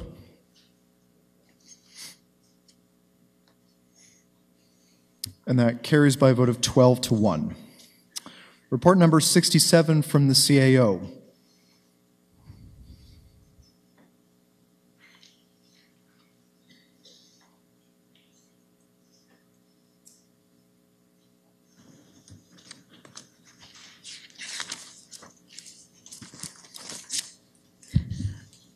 Moved by Councillor Oosterhof, seconded by Councillor Chapelle, that report number 67 from the Chief Administrative Officer consider, be received and adopted. So there's the one- be, be received. Thank you. So there's the one item, 2019 Budget Update County of Frontenac Services. This is a consider report. So just to remind council how to consider report works, there are three options that are before us. I will look to council, to a councillor to move one of the options. We will then debate and discuss that option. If it passes, then we're done. If it fails, then there's an opportunity for a councillor to put forward another option until one of the options passes. Councillor Boehme. I'd like to put uh, option two on the floor. Okay, is there a seconder? Councillor Osanic? Okay, so option two is on the floor, and Councillor Boehme, you have the floor. Thank you, Your Worship, and through you, uh, I know this has been a very difficult file. Um, there's been numerous meetings over this. There's also a lot of public concern uh, that's come forward uh, about funding. Obviously, you see land ambulance in there as well, and uh, Fairmount home for the aged. And there's obviously big budget implications when we direct our outside agencies to come in at around two and a half percent, and then you start having ones that are in at three or four times that. So it, it does create quite a lot of head scratching um, and basically trying to figure out how to make this all jive. Every single budget at the city right now and in, across the country is facing pressures. So this is something where, in my mind, looking at this option two provides a little bit of a compromise, meets part of the way, but at the same time speaks to the fact that we're all facing pressures. Um, and when you have kind of a landmark of two and a half percent, and there are other ones that are coming in at many times that it's very hard to justify that to the taxpayer. So at the end of the day, this is something where it's a middle road. Uh, I'd like to thank staff for proposing it, uh, and I'd ask, also like to ask the city treasurer what are some of the implications here, and are there some cost savings that can be found? And maybe if she could elaborate a little bit more on how the agreement with uh, with the county actually works. Ms. Kennedy. Thank you, through your worship. Um, so just just quickly in terms of, of how we've reached to this point. So the uh, council will recall when we were uh, in budget in January, uh, county council had not yet started their budget deliberations. So there was a, an estimate that we've included in the budget as an envelope for the county of Frontenac for both services. Um, we did have some preliminary numbers that had come from the county initially, and working with the county, um, we were able to, to get the projections down a bit. And we did that by a couple of things. One, included in their original submission were some special one time projects which, which we treated as like an increase in service. Um, and so we pulled those out, and based on some of my discussions with the county management, they felt that those still needed to go through county council and that there'd be a good chance that those would not actually happen, particularly in a year where there was such challenges with just the basic level of service that they had. Um, the other thing that we had included at the time was uh, looking at some of their future projections, which obviously now are a bit up, uh, out of date and based on new information that we've got more recently from the province. But um, based on their projections, we saw that the land ambulance in particular was actually staying fairly flat in the subsequent year. And so we talked about a way that perhaps we could uh, phase in some of the increase over two years rather than taking it all in one year. So based on those, we put an estimate of about 5% overall in the budget. Um, because we had this and, and, a couple of other smaller agencies that weren't quite finalized, um, we did include about another 150,000 in contingency funds as well, knowing that these budgets still needed to be approved. So we had roughly about six and a half percent in overall for the county, including that uh, that $150,000. Um, the county did come and present, as you'll recall, at the budget deliberations and they presented their base budget. They did not present at the time the special projects um, because those were definitely an unknown. Subsequent to that, when they actually uh, finished their budget deliberations and approved their budgets and sent us the, the new revised invoice, it did include the base budget plus the special projects, plus about another $100,000 of additional things that had happened after our budget had been passed um, which got us up to the to the higher amount. So that's just a bit of the, the, the chronological events that happened that brought us to, to this point. Thank you, and through your worship. So I think this is something where, I mean, definitely we're all facing different pressures. Um, this is a very difficult file. Um, I know you'll notice we have a number of paramedics in here who who live and breathe this every day. So I think this is something where we want to be cognizant of the frontline services and, and the great work that they do, but at the same time, we have to find a way to be able to kind of do that with, within the, the realm of today, and, and that's that everybody's facing budget restrictions and tightening. So, two is a little bit of a middle ground, and uh, so hopefully we can support that, and then we can all work together going forward in the future to try to make up that difference. Thank you. Thank you. Councillor Neill. Thank you. And again, I had an opportunity to speak to staff earlier. I just wanted to confirm with the treasurer, if I might, that in all of these options, but particularly option two, because that's what's on the floor, uh, the the amount of money that we are pledging towards land ambulance services, that is allocated funding for land ambulance services. Is that correct? The count the reason I'm asking is the county can't turn around and reprioritize any of that money and flow that money uh, to uh, to uh, the seniors' residents. Is that accurate? Ms. Kennedy? Thank you, through your worship. Yes, that's accurate. So council is actually setting this as two very separate services that they're setting the budget for, and they have to remain separate. Council has the ability to set based on, on what they feel is appropriate for each of them, but in terms of what we're funding to the county, it would have to be used for those two services specifically. And um, I didn't have uh, the opportunity uh, or the motivation, I guess, to go to the RULAC meeting. I'm just curious if I could direct a question to either staff or, or either of our members on that committee. Um, the amount that is now on the floor for option two, does that maintain urban uh, level of service uh, proposed? Does it increase it slightly uh, as the proposal in front of us from the county? Who would like, Ms. Kennedy? Thank you, through your worship. So the proposal on the table uh, works out to about 7.5%, which, as Councillor Boehme said, is sort of a middle of the road. Um, in terms of dollar value, so we started with a, a variance of about um, $450,000 um, of which, with the proposal on the table, the uh, city would be taking up about 250 of that, leaving about 200,000 short from what the county has approved as part of their budget. So there's about a $200,000 gap there um, that we would be looking to the county to, to figure out how to deal with. Thank you. Okay, next on my list is Councillor Oosterhof.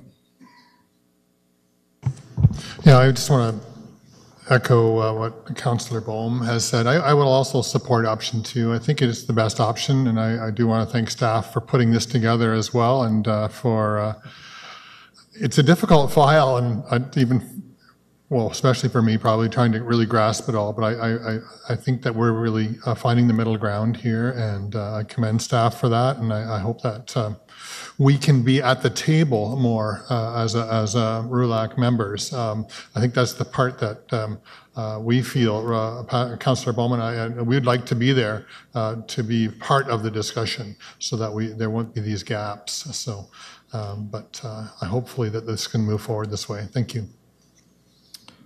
Thank you, Deputy Mayor Kiley. Thank you, Mayor Paterson. Through you. A question about option two.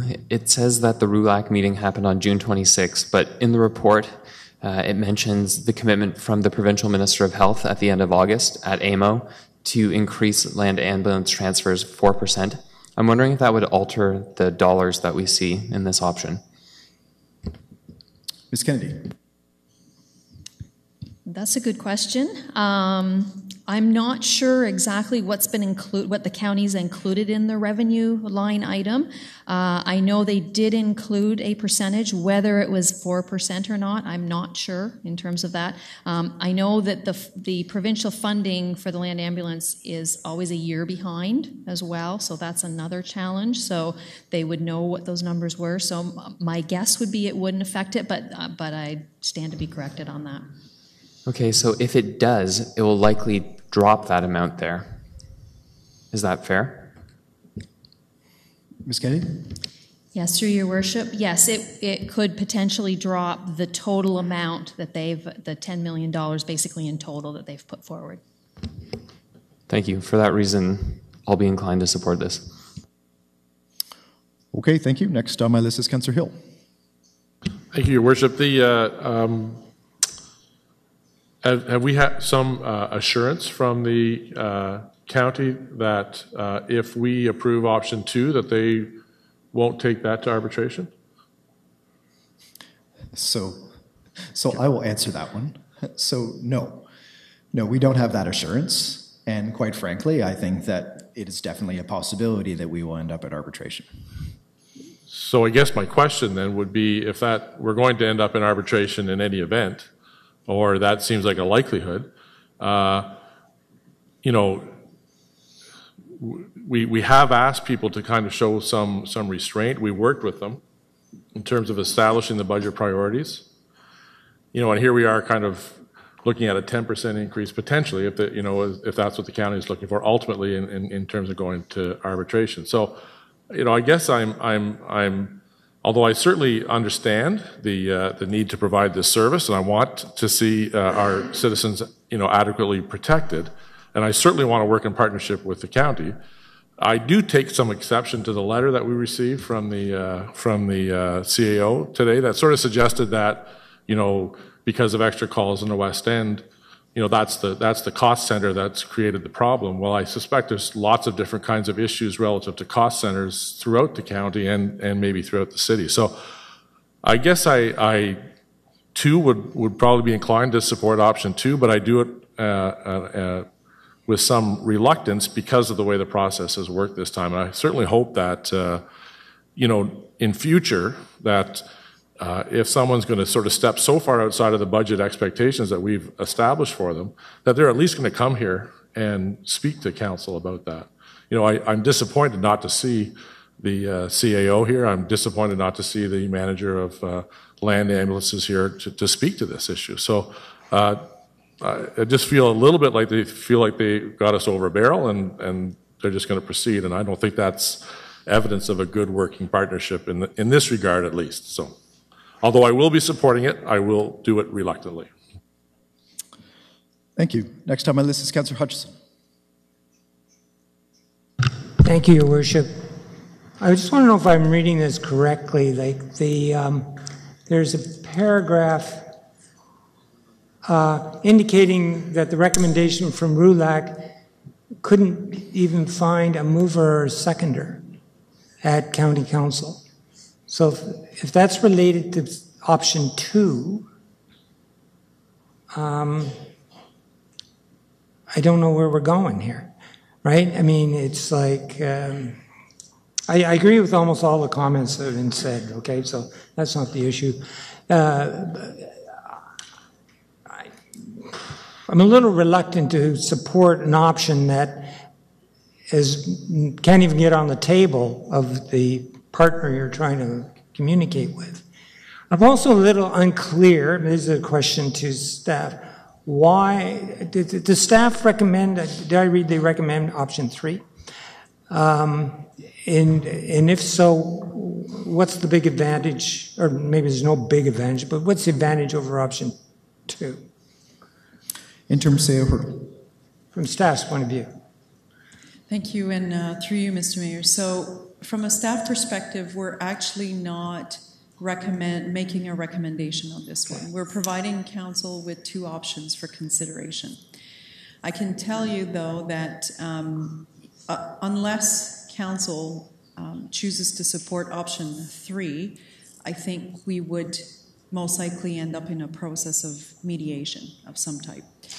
Um, keep in mind that the option three is something that we are also potentially likely to see again next year, meaning that um, based on preliminary discussions um, with county staff, they have indicated that they anticipate the increases to be the same next year and that there's really not much that they can do to change that at this point. So in in this situation, it would mean that we would be um, having this conversation again next year, even most likely if we selected or council selected option three. Okay, um, so I guess that's a decision council. Some some councilors indicated option two. I understand that. Not sure that it actually gets us anywhere. But I, have objections to uh, council uh, to option three, although it looks like all the options get us to the same place. And my main objection to option three is, or, or just the process as it works, it's no kind of budgeting when you're rating your reserve funds to pay for something that's an operating expense. That's just not good practice. I know in this case it's not the fault of the city. We asked, we didn't get it, we didn't get the information in time. Um, and also the idea that we would have a special levy to, to cover this. Personally, from my person, personal point of view, we're going to have problems with what the province is doing. We may have a special levy for that so that we can show people it wasn't our doing, this was downloaded on us. I think we, in my opinion, we should reserve that for that, that provincial potential outfall. So, I hope hope somebody can clear up this logjam because I don't really know.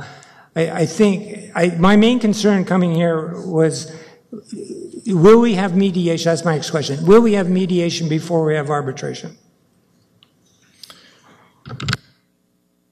Mr. McLeod. Through your worship, yes. That's the process within the uh, um, various agreements in the restructuring order. That would be the expectation. Okay, so it's purely of two parties with two different interpretations of the agreement, right? And the agreement it seems to be pretty general, and so I suppose in some with attendant agreements over the years. So maybe that's I don't know if that's avoidable, but that's probably part of the problem. So I, I personally think it should go to mediation and necessary to arbitration, and which option we vote for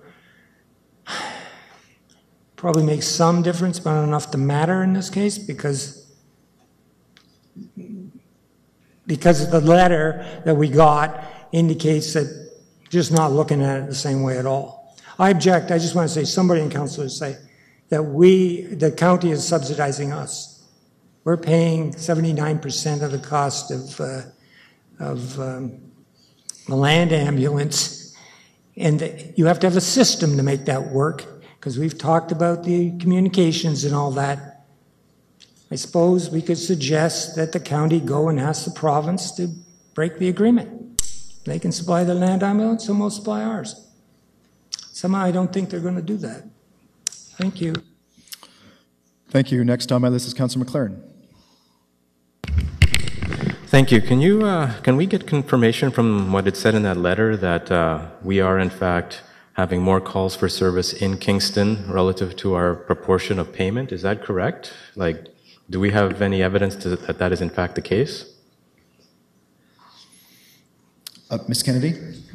Through your worship, uh, no, we don't have any of those numbers, so that was just information that was provided from the county in the letter. Um, we don't have any backup data in terms of being able to confirm that at this point. Okay. Um, just for the sake of this argument, let's say it is true, and they provide that at a later date.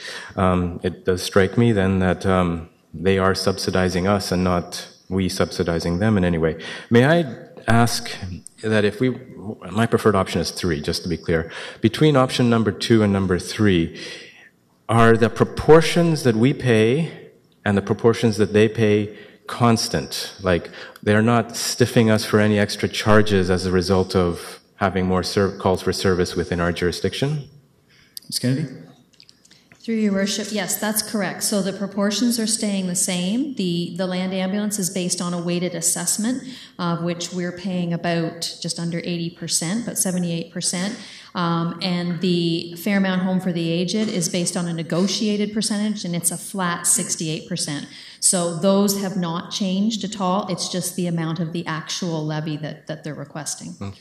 So if we make this say we take option two or option three, they will adjust their budget to compensate to keep the same percentage payments, pain, tax pain essentially. Is that correct? Ms. Kennedy? Through your worship. So again, uh, going back to the previous question, they have to be kept separate as separate services. So they don't have the ability to, to move those amounts between the two services. They would be kept separate. How they're going to deal with it, I don't know what they would do at their end, um, but they do have to keep them as two very separate services. So in either case, option two or three, we're essentially forcing them to up their portion as well. Ms. Kennedy? Through your worship, um, that's one way that they could deal with it would be to take so there's about there's a $200000 difference there between two and three. Um, so they could choose just to fund that themselves. They could also look at where they could find some cost savings. Um, if there is additional revenues coming from the provincial announcement and i, I was able just to, to uh, confirm that they have an increase in their revenue of about 2.5% is showing in their approved budget. Now, I would say it would be probably closer to 3 point something because that was it would be a nine month that the province has confirmed. It would be starting April 1st of 2019. Um, so there might be something there. So again, that would be another solution for them in terms of finding it. So there are different alternatives of what they might be able to do in terms of making it all balance at the end of the day. And um, next question Do we have any idea from the perspective of a patient calling an ambulance? Um, what would be the difference between option two and three? Would it be like a 20 minute wait? Would it be an extra mortality per year? Do we know um, what the cost is in human health?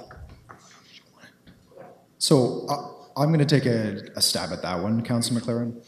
Um, and I will have some comments on this when it's my turn, but I think I'll, I'll just jump in. So, in the discussion in the RULAC meeting with the county, what's been very clear is that the funding commitment has already been made. So, this is not a discussion on whether we're going to adjust the level of paramedic services. Those decisions have already happened. The decision is just about who's going to pay for it. So there is no difference between option one, two, or three about the actual amount of service that's going to be offered. It's just a matter of how are we going to work out the, the funding gap that we currently have. Okay.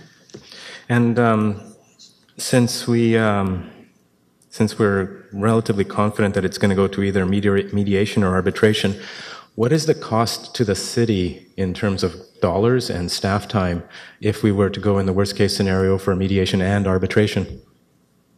Mr. MacLeod? the two costs would be the cost of representation, we would do this in house, and the cost shared of the portion of the mediation or the arbitration. Um, I can only sort of estimate tens of thousands of dollars in relation to, you know, a multi-day mediation for the mediator, but that would be very potentially high end.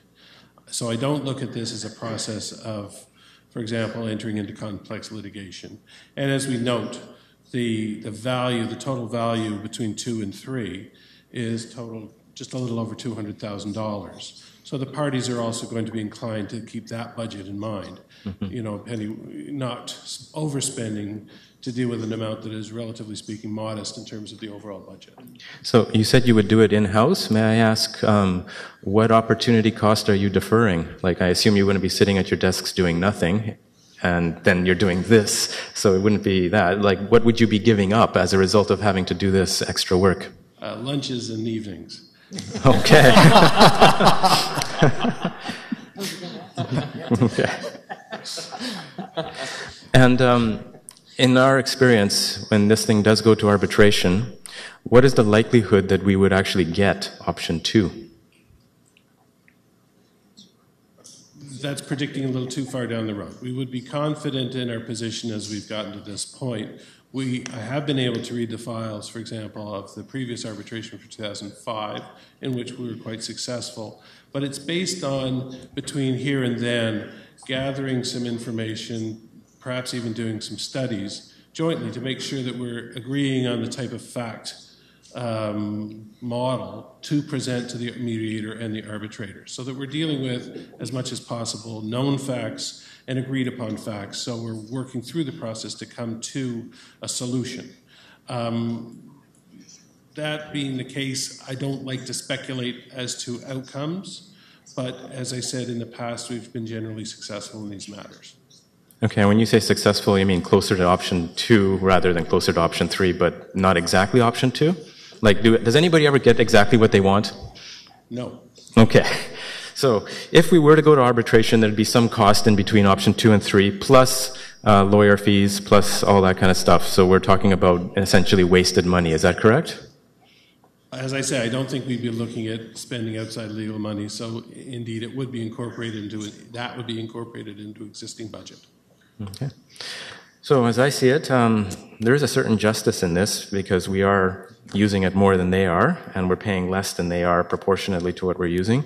Um, it's a service that's a health service. I mean, this is a critical thing. I think nobody would actually want um, an ambulance to be late or anything like that as a result of this because this is going on for several years. You mentioned that this year it may not affect us, but it will next year if we're going to have the same conversation. Um, and we're going to be going to mediation likely, more than likely. So we're going to be going above number two if we go with number two anyway. Um, it would seem better just to save your lunchtime and your evenings and avoid that altogether and uh, the lawyer fees to these other guys that we're going to have if we were to take number three. Um, essentially, we're, we're paying for a service. We're growing. We need ambulance care, and it's going to go up. Uh, when we are paying for a service, that's what taxes are for. You're taxing for a service. And if you want to be secure and safe in your home and knowing that a paramedic is going to get there, we need to pay for it. Now, I understand that uh, the provincial government is also cutting a bunch of stuff, and I suspect that uh, they'll be cutting their portion of whatever they fund us on this.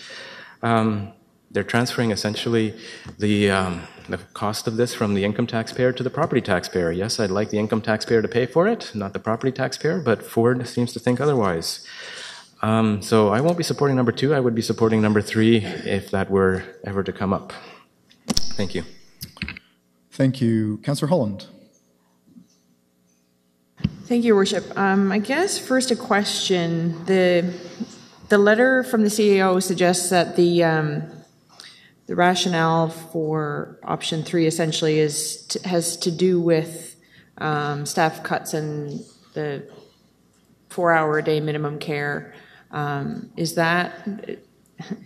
I know that we like. I guess first of all, that seems to me to be a policy that is unrelated to what we do here. Go ahead. uh, interim CEO Hurdle. Thank you, and through you, Mr. Mayor, I'm assuming that you're referring to the uh, Fairmount Home four hour of care um, internal policy that they've decided to set for themselves, um, which is, you know, which is something that they have decided to do on their own. It is not legislated or mandated by any means by the province. So this is a decision that they've made independently to increase their level of service to achieve that. Great, thanks. That's that's sort of what I was thinking, and I really do, you know, fundamentally support the four-hour day minimum care all across the province. But again, this is that's a, the provincial level, um, and therefore option two makes the most sense because going down the road of supporting what would be out of our jurisdiction, uh, valid as it is, important as it is, takes it outside of the scope of what we should even be considering. Um, so I certainly support option two. I think we need to consider, you know, going beyond our our um, the the financial constraints that we have here and our desire to um, keep the budget requests where we want them to be. I think we do need to look at what is behind the numbers to some extent. So increase in calls. Um, there, there are some factors that have led to this, including the op- opioid crisis, mental health crisis, uh, and we have frontline staff. We have we have paramedics who deal with those calls, and increase in calls leads to increase in injury, um, and therefore increased costs. So. There are legitimate sort of societal factors, issues that are happening that I think really do require us to take this step. Uh, so I'm definitely supporting option two. Thank you. Next on my list is Councillor Stroud. Thank you, Your Worship. Um,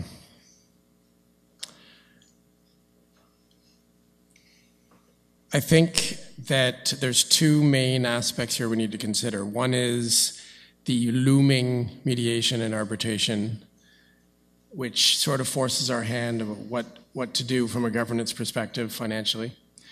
And the other one is the larger, the higher level aspect, the interaction with the, with the province, essentially, but not just the interaction with the province, the demographic shift combined with the rise in acuity amongst um, the, both the population that might need ambulances, which is an aging population, which we, as we know, is now the largest demographic, and the population that's already in the Fairmount home and similar facilities, which is a rise in acuity. And by acuity, I mean how sick you are. I can testify from direct experience from my other job that the rise in acuity is real. This is happening at the same time as the climate uh, things that are happening, such as the Category 5 hurricane that's happening in Bahamas. These, these, this rise in acuity amongst our population, sicker and sicker people coming to hospital via ambulance, is real, and it is a larger problem than either the county or the city can deal with on their own. Therefore, maybe we're best to just look at the governance issue of the finances uh, and separate the other gloomy picture coming our way because it affects all of all of healthcare, all healthcare workers, all healthcare, healthcare budgets. And it's up to the province and ultimately the federal government to start doing something about it.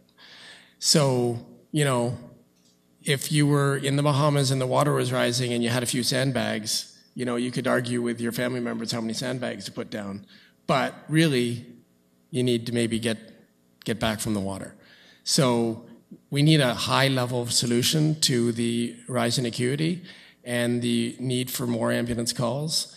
The thing that has flooded my cardiac unit the entire summer uh, is the rise in acuity. So, you know, this budgetary dispute between us and the county is has nothing to do with that, and therefore, we don't do us any services by picking option three, because the up, there's very little upside in picking option three.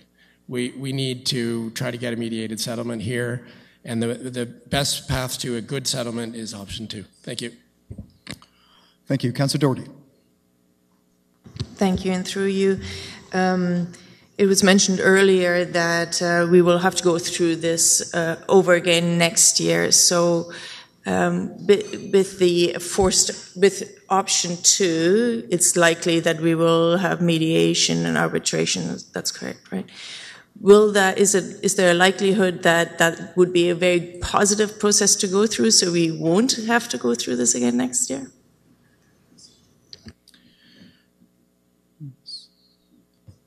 Mr. McLeod? Foreseeing the future in that way sort of asks will we have the same question? When we look at the agreements after the restructuring order, we see that we have six or seven agreements between 1997 and 2004.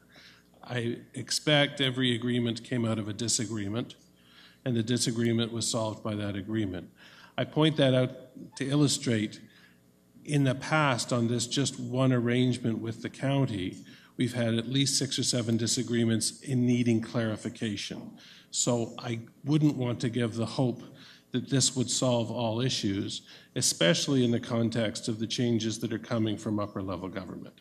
But we can expect that this matter of how we come to a budget, which I think is this year's matter, that we're asking is this municipality to have a greater say at the table, perhaps, that would be one of the core issues at the mediation that we would hope to resolve through this process. So, therefore, um, option two offers the best solution in the sense that it's as close as possible to the budget that we were asked for, but at the same time will lead to a, a deeper conversation and mediation. And I'll support it. Thank you. Deputy Mayor, will you take the chair? I take the chair and recognize you.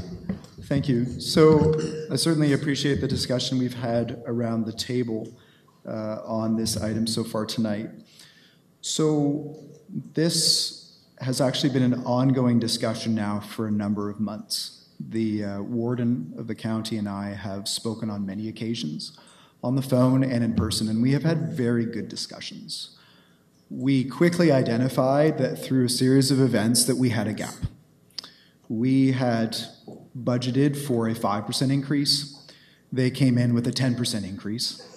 And so we were trying to work collectively, the two of us, to try to find some way, some creative option to be able to somehow bridge the gap, understanding that this is not about not valuing the services that are provided. Of course, they're very important. Uh, again, uh, those funding commitments have already been made. So, what is the best approach moving forward? So I want to thank the warden for his help on this, trying to come up with creative solutions. This is what led to a meeting at the end of June where we had a very good discussion. Councillor Bowman, Councillor Osterhofer with me, and then some representatives from the county as well. And ultimately, we again talked about ways and options that perhaps we could find a way to somehow compromise and somehow bridge this gap. To be frank, the turning point for me was when the outcome of that RULAC meeting was then to go back to county council. And I was very surprised and quite frankly disappointed that not that county council rejected the offer of compromise, they didn't even want to discuss it. That was a concern to me because I believe that in the spirit of partnership, when these issues arise, it's important for us to discuss and see what we can do. So here we are. Now the ball is in our court. In my view, option two is exactly in the same vein of what the ward and I had been discussing, which was some compromise. Can we somehow meet in the middle when they're here and we're here? So this is basically restating our desire for compromise. Again, can we find creative solutions? As Deputy Mayor has said, is there something that's come from, from provincial funding? Are there other options available? We talked about even could we, you know, we're uh, for option two, we're going to have to put some of our reserves on the table. So we talked about, well, is there an option for the county to put some of their reserves on the table? Again, to maintain that spirit of partnership moving forward. So I'm hopeful. I think that this is this is actually us extending a hand to the county saying, okay, we want to partner with you, we want to work. Please work with us and let's see what kind of compromises is possible. So I don't think that mediation or arbitration is an absolute uh, option. We may end up there, and if we do, so be it. But I think it's important for us at the end of the day to say a 10% budget ask is simply too high. It's four times higher than our budget increase, and I don't believe it's fair to all of our other external agencies and partners when they are all working very hard to try to reduce their asks that we would then be treating one of our partners differently from the others. So this is a statement from us that yes, on the one hand, we want to compromise and partnership, but we also have to recognize fair play with our other external agencies as well. So for that reason, I will absolutely support option two, would encourage council to support that as well. The other thing that I will say is that at the end of the day, there was some miscommunication on both sides. Everyone acted in good faith here, and there would be no suggestion otherwise in that. But one of the things that Warden and I did talk about is that we will have another RULAC meeting before our 2020 budget, where we will sit down and we will talk about each other's budget targets, and we will try to avoid this situation happening again in 2020. So I look forward to that discussion, but I also look forward to discussions on resolving this issue with the 2019 budget. Thank you very much. I yield the chair to you. Thank you. Is there anybody else that has not spoken that wishes to speak? Okay, we will call the vote then on option number two. Please vote.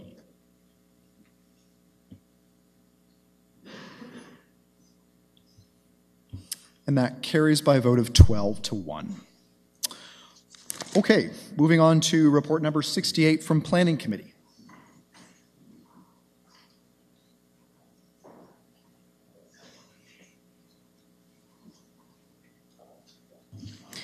Moved by Councillor Neill, seconded by Deputy Mayor Kiley, that report number 68 from the Planning Committee be received and adopted. Okay, so there are three items. If no one would like any of them separated, we will vote on them as a whole. Number one is amendment to draft plan of subdivision conditions 700 Gardiners Road. Number two, approval of an application for zoning bylaw amendment 1381 Newport Avenue. And number three, approval of an application for zoning bylaw amendment 235 and 243 Colborne Street and 60, 62, and 64 Elm Street. We'll call the vote, please.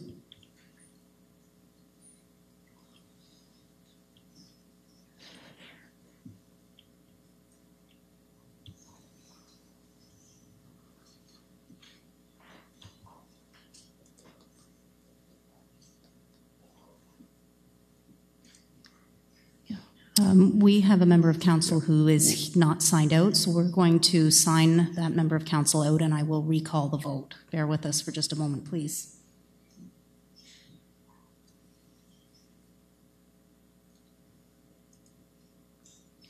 Okay, so this, this oh. is not the result.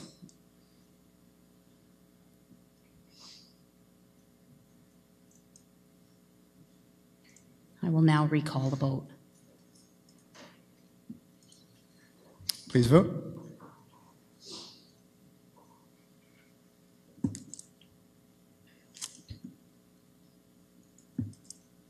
And that carries. Okay, On to report number 69 from Heritage Kingston. I have the report from Heritage Kingston, uh, duly moved and seconded. Thank you.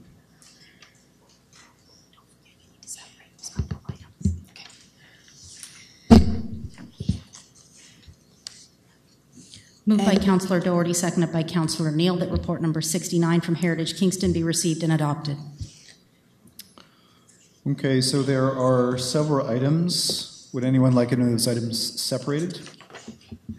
Councillor Doherty? Yes, I would like uh, number two and number three separated. Oh, okay. So that is, is that heading number two and heading number three? The big, okay. Okay, so first, so we'll, we'll deal with them one heading at a time. So first, number one, applications recommended for approval. Uh, statutory consultation with Heritage Kingston. We'll call the vote.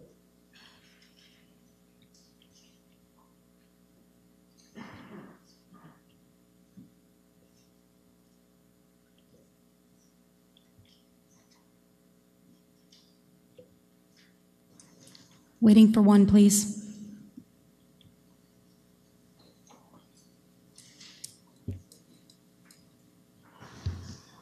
Yes. I'll, I'll get to you.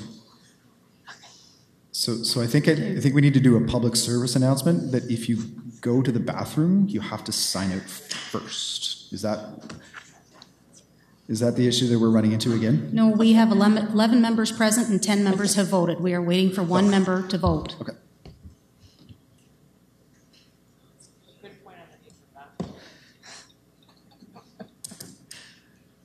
Okay, could all members of council please revote? This is item one, right? This is one only.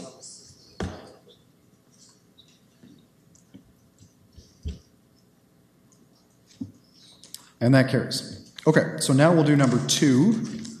Application supported for approval by Heritage Kingston non-statutory consultation. So there are two sub-items. Councillor Doherty, did you want both of them Uh, separated? Yes, please. Okay, so first is approval of application for heritage permit under the Ontario Heritage Act, 72 to 82 Sydenham Street. That's correct. And that's for the, the Spire uh, project. And I have a motion prepared for this that I would like to put on the floor.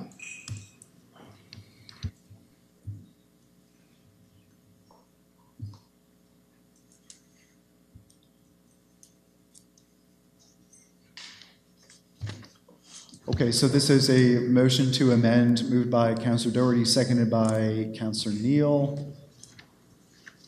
Thank you. So is to amend number one, delete the word not and the words and the applicant shall remove these items from the plan. So the bullet reads as follows. Proposal to install a bench and lamppost on the city's right of way are approved.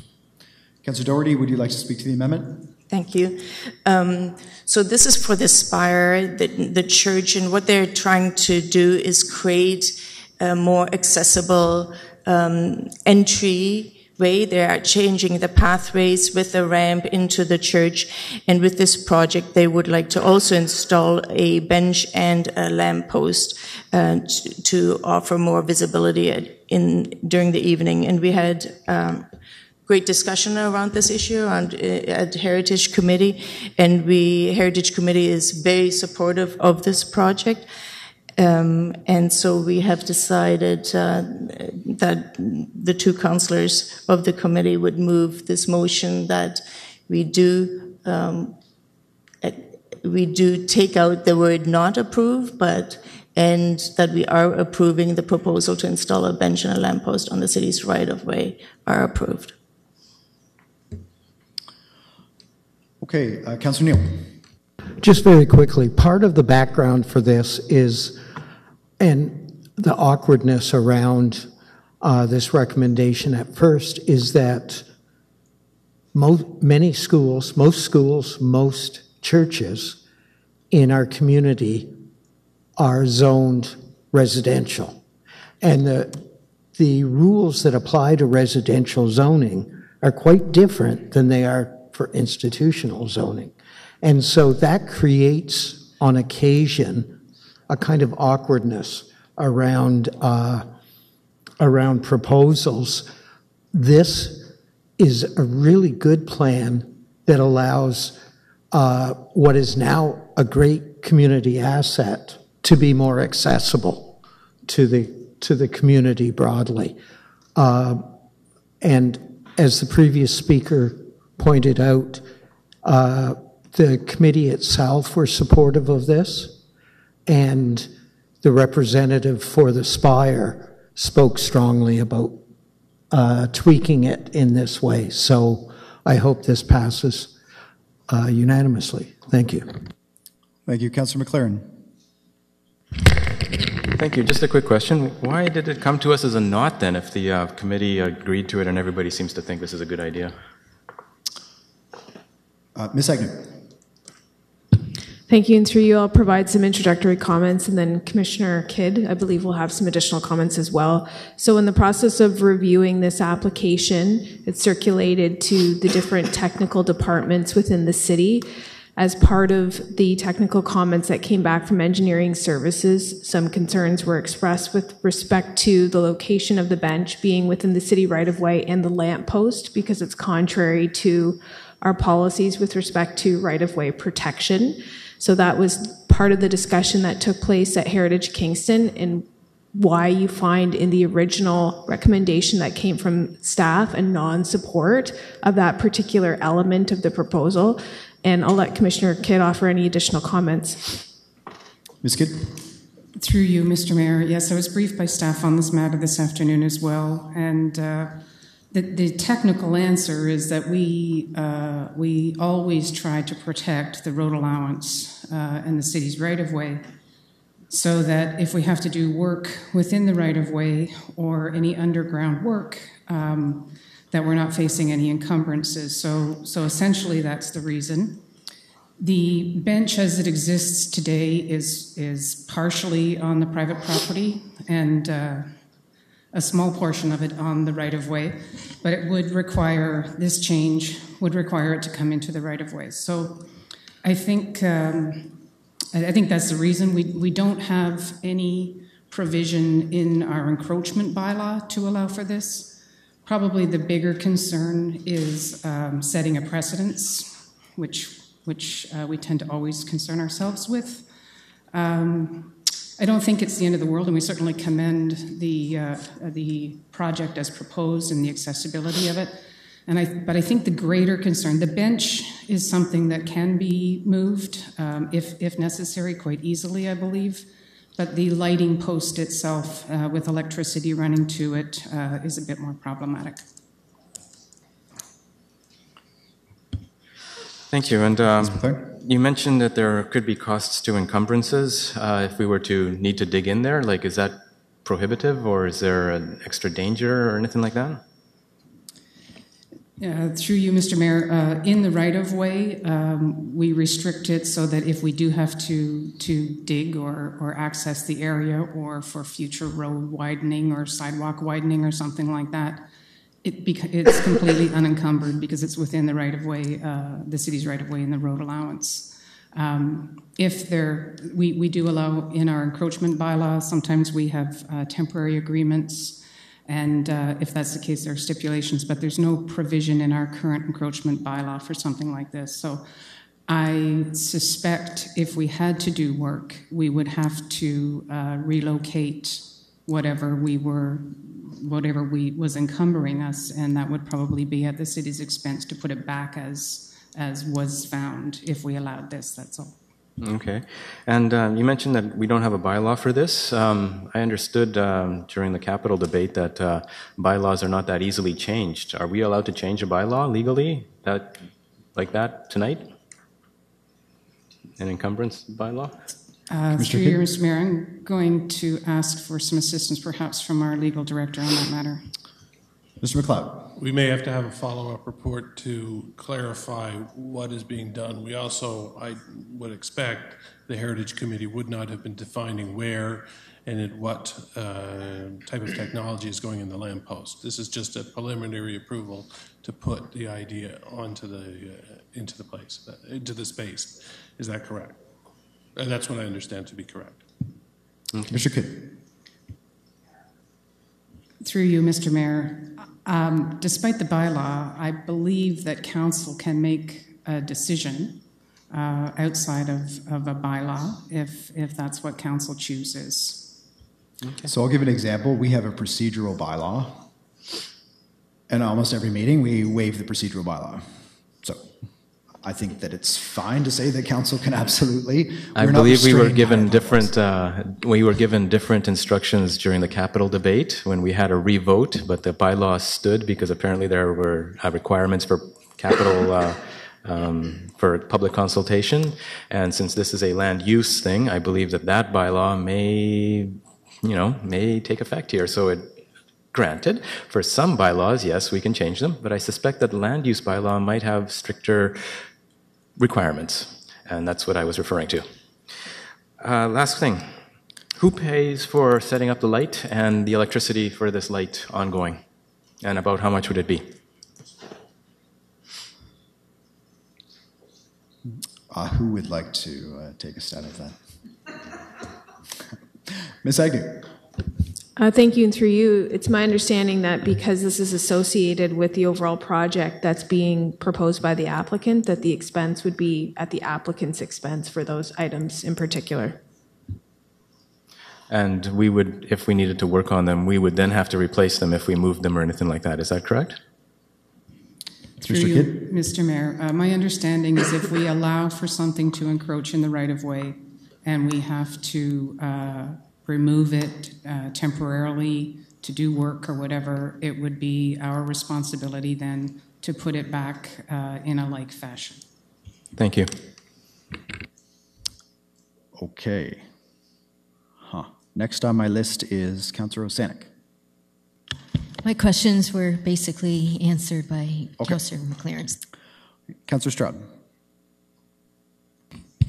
Thank you, Your Worship. Well, this is in my district, and I used to live across the street, so I know the property very well. I know the Spire um, uh, facility quite well. But what I can't tell from these pictures, and I don't know whether it came up at committee, is exactly where the lamppost is going. The bench to me is not that big a deal, even if it needs to be moved. Like uh, the commissioner said, that a bench can be moved, even if it's bolted down, it can still be moved quite easily. Uh, but the lamppost, I mean, we have lampposts in the right of way all over the district, all over the Heritage District. Uh, the city installed the, the, the lampposts in those spots, and uh, people deal with it, but none of them are blocking the sidewalk. So I guess my question is does this lamppost block pedestrian use in any way?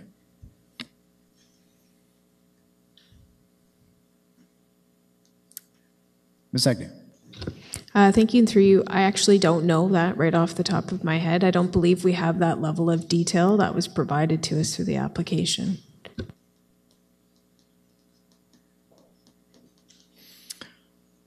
Okay. Okay, so I got to think here. So this is a heritage district, so therefore it is a Part 5 application. So the heritage application has a time limit. But this barrier, which is the lamppost to our decision making, has nothing to do with the Heritage District other than what was in the report on how lamp, lamps have to appear in a Heritage District, but that's not the issue. It's the location of the lamppost that we need to know. So my, if, if anyone knows that answer, great. Uh, put up your hand, like, because you were there during discussion. But if you don't know, I think we need to know that information before we vote, because that, that's crucial to my position on this. Mr. Clerk, can I see you for a moment? Peter.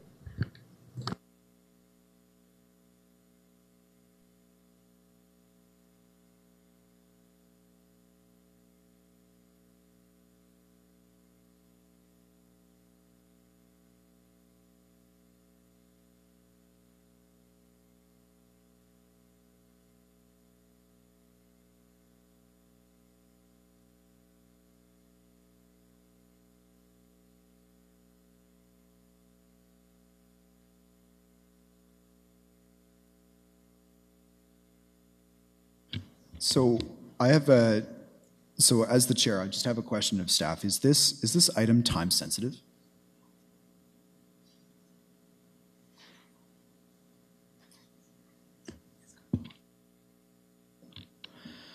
So I'm actually just going to make this, make a suggestion because I feel like, yeah, uh, Ms. Agnew.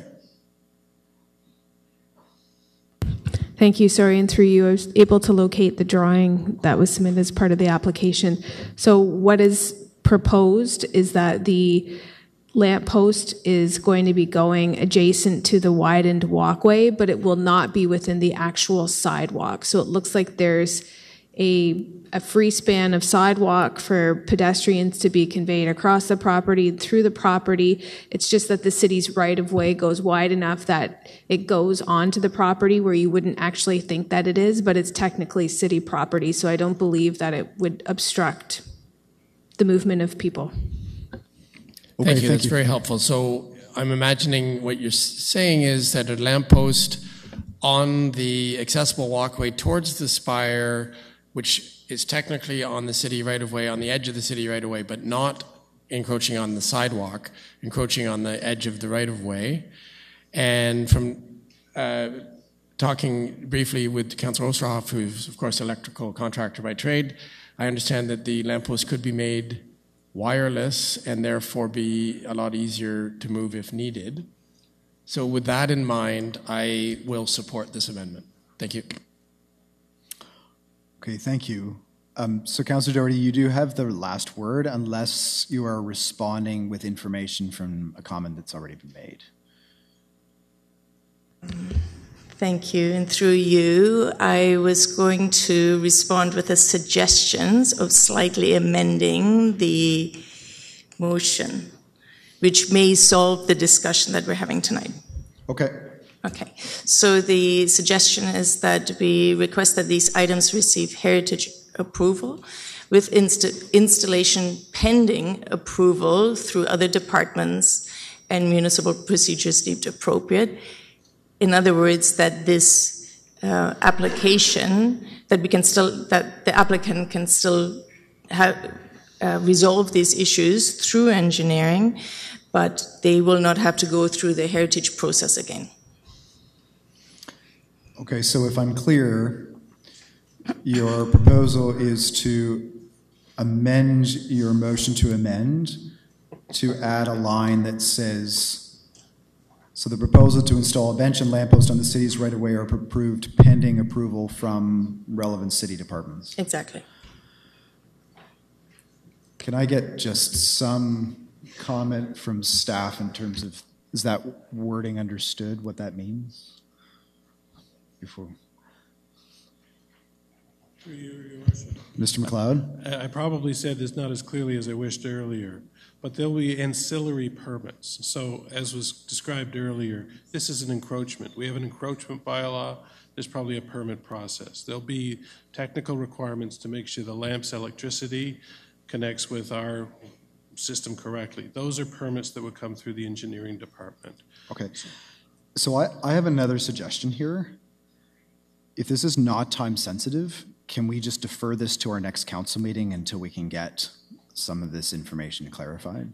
Because we're going down the rabbit hole and we're going to be spending an hour talking about where the lamppost is on the property. And I feel like there are some other items on our agenda tonight that probably require our attention and discussion. Is that, is that reasonable? Would somebody like to move a motion to defer to the next meeting? Thank you. Moved by Councillor Hill, seconded by Councillor Hutchison. Thank you.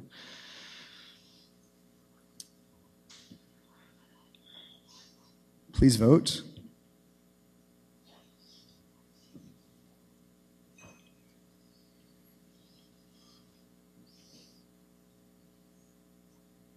And that carries. Okay, so now under item two of number two, approval and application for heritage permit under the Ontario Heritage Act, 52 to 56 Earl Street. Councillor Doherty. I've also prepared a motion for this one to that the clerk has, and I wonder if you could put it up on the screen. This is for the wall, the stone wall. I believe the s- 9092 Barrack Street was the motion that you gave me. So, Councillor Doherty, that is Which is referring to report item three. three in our agenda. Oh, we're all still on the original. Yeah. So you don't have anything to say to number two of number two? Does anyone want to speak to number, item number two under number two? So two, I, two I, I. Okay, so we'll call the vote then on 52 to 56 Earl Street.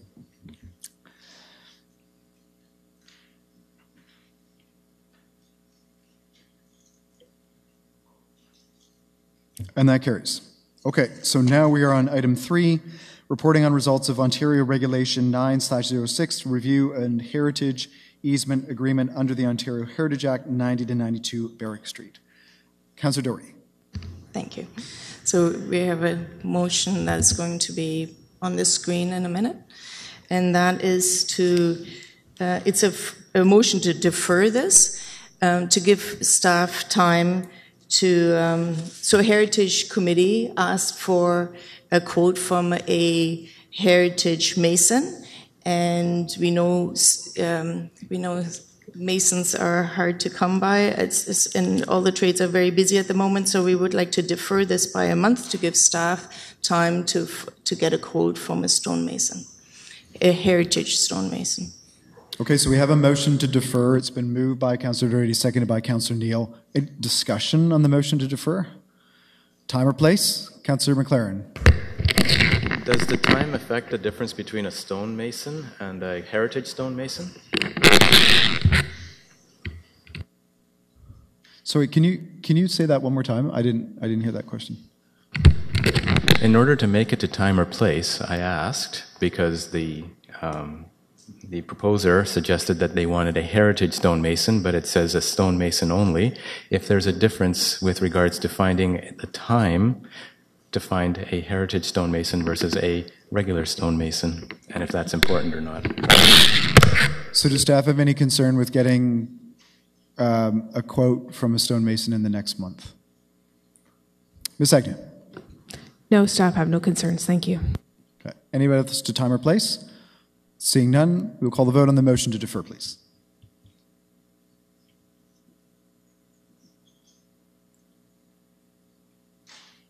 And that carries. Okay, report number 70 from the Administrative Policies Committee. Thank you, Your Worship. I rise to uh, submit report number 70, uh, Administrative Policies, and uh, you're going to have to pay attention for this one because there are some nuances. Thank you.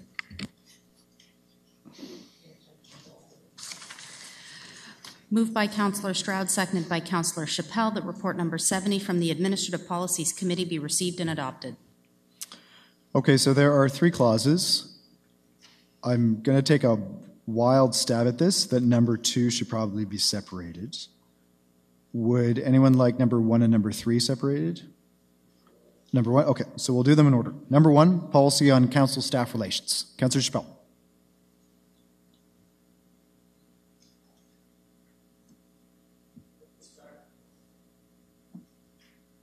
To you, Mr. Chair, I've been think, speaking about this one for quite a while. I certainly appreciate the, uh, the effort of putting this together and the guiding principles that members and city staff shall treat each other with respect at all times, including respect for private lives of each. And um, one of the items that uh, I would like to bring to attention is under the role of members in section 3.2, clarifying the roles under the role of members, subsection 2, item F. I would just like some clarity with regards to the phrasing of item F that says to only give direction to city staff through resolution by council as a whole.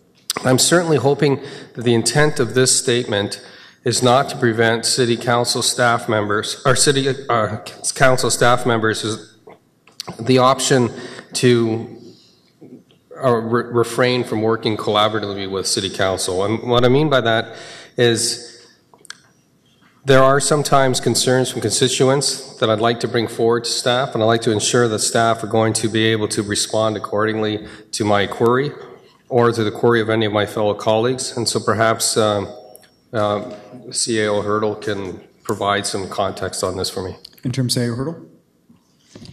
Thank you, and through Mr. Mayor. So the intent is absolutely not to limit the working relationship or collaboration between city staff and members of council. Um, you know, it, it, does happen quite frequently that um, members of council will reach out to city staff to um, to try to work through some issues in their um, in their district. So that's not the intent. But maybe to give you an example of where this could apply is if you wanted, as a councillor, a traffic signal, for example, in your district, you wouldn't have the ability as a councillor to direct a city staff to go ahead and implement a traffic signal. This would have to actually come through as a motion of council because there would be budgetary implication and there would also be quite a lot of time uh, from a staff perspective that would be required to do that work.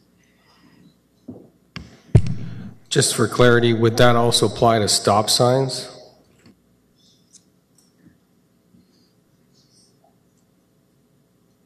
Commissioner Kidd. Through you, Mr. Mayor, this is a slippery slope, but but um, my my answer would be when when uh, when a situation fits within the approved policies and there's a budget approved, if staff can accommodate, they do try.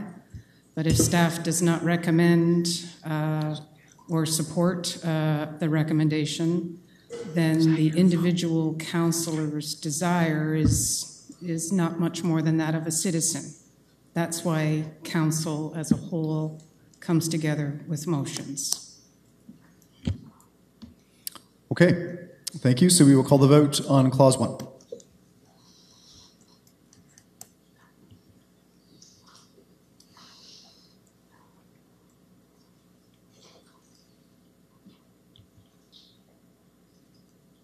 And that carries by a vote of 12 to 1. Number two, discounted fees for municipal programs and services. So I'm just going to make a couple of comments first, just, just to guide the discussion on this. So this has come with a negative recommendation. So I will remind people when it comes to vote. But what that means is that a yes vote here at council confirms the decision of administrative policies. So if it's a negative recommendation, it means administrative policies has said no. And so if you agree with that decision, then you would vote yes. So we'll go over this again when it comes to voting, but just so everyone's clear with that. The other piece to keep in mind is, of course, that um, this is part of a report with a number of different options that were presented by staff. The staff recommendation is for option C. So we will not amend option C. We will have a debate and discussion on option C, and we will take a vote on option C. And if it loses, then there will be an opportunity for any other member of council to put forward a different option. And then we will discuss and debate, and we will basically go as long as until something passes or until we don't want to present any other option. So is everyone clear on the, the roadmap for this? Okay. So with that, the staff recommendation is now on the floor. So anybody else, anybody that wishes to speak to it? Nobody. Should we take the vote right now? Oh, yes, Councillor Neill. Yes. Um, this uh, proposal, I believe, came up in our last council, and I spoke at the time, uh, and I haven't changed my opinion. I, the reality is, and I use my mother as an example, she survived and grew up during the Depression. I don't believe she would ever have taken an income tax form to a social services department to request a minor discount on a service that was provided municipally. Uh, it just was never within her DNA to ever consider doing that. And so I'm a little troubled by this. The other thing is, I think that whenever possible, services should be universal. We don't request, we don't have a two tier medical uh, coverage and charge people extra because they make extra money. We charge them extra when we tax them. And that allows for a certain universality to take place. And Um, the reality is, yes, there are some seniors, uh, one sitting in this chair, that uh, have fairly good retirement incomes. But I also, for 30 years, have paid taxes relative to my the value of my home. And I don't know why we're trying to create this two-tiered system. I I would support right now uh, the idea of not charging, like allowing seniors uh, bus passes. I called last year and again this year about a dozen municipalities in, in Ontario, and I couldn't find one that didn't have some form of discount for seniors. And there are other ways of helping seniors with transit issues. Halifax has a brilliant idea, uh, and you could do it for one or two days a week Halifax allows free transit to seniors in non peak times on Tuesdays. And therefore, people who are retired could plan their, their trips around that day or two a week when you got when you could ride for free in non peak times. And so I think there's ways that we can address this issue. But I, I believe that having a discount, and I'm quite willing to support a deeper discount, and I'm quite willing to support uh, a discount and uh, and a form of free busing, but I just no seniors that I know uh, would feel comfortable going to social services and requesting uh, this. So, for that reason, I don't think it's a viable suggestion. And I think we should maintain the universality of our dis- seniors discounting. Thank you. Deputy Mayor Kiley. Thank you, Mayor Paterson, through you. I have two questions to start and then a few comments. And I want to build off Councillor Neill's comments about the delivery of the service.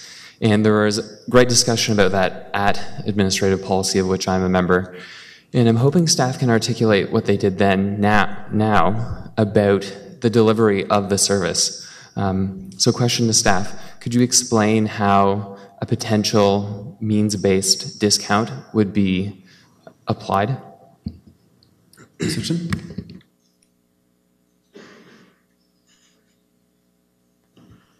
Thank you. Through you, Mr. Mayor. Um, the process is quite simple. Uh, if it's a single uh, senior or a couple, um, they bring in their NOAs and staff look at line 236, which shows their net income, and staff determine whether they're above or below that income threshold. And if they are eligible for the program, they receive a card um, that basically gives them access to all of the services within the My Kingston program.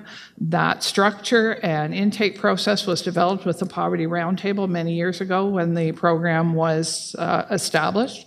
Uh, in fact, 10 years ago, almost this month. Um, so that's the process now. What's in the report and what we're looking at doing is augmenting that by switching to a two year eligibility. So you need to come in once every two years, not once a year, uh, to make it easier.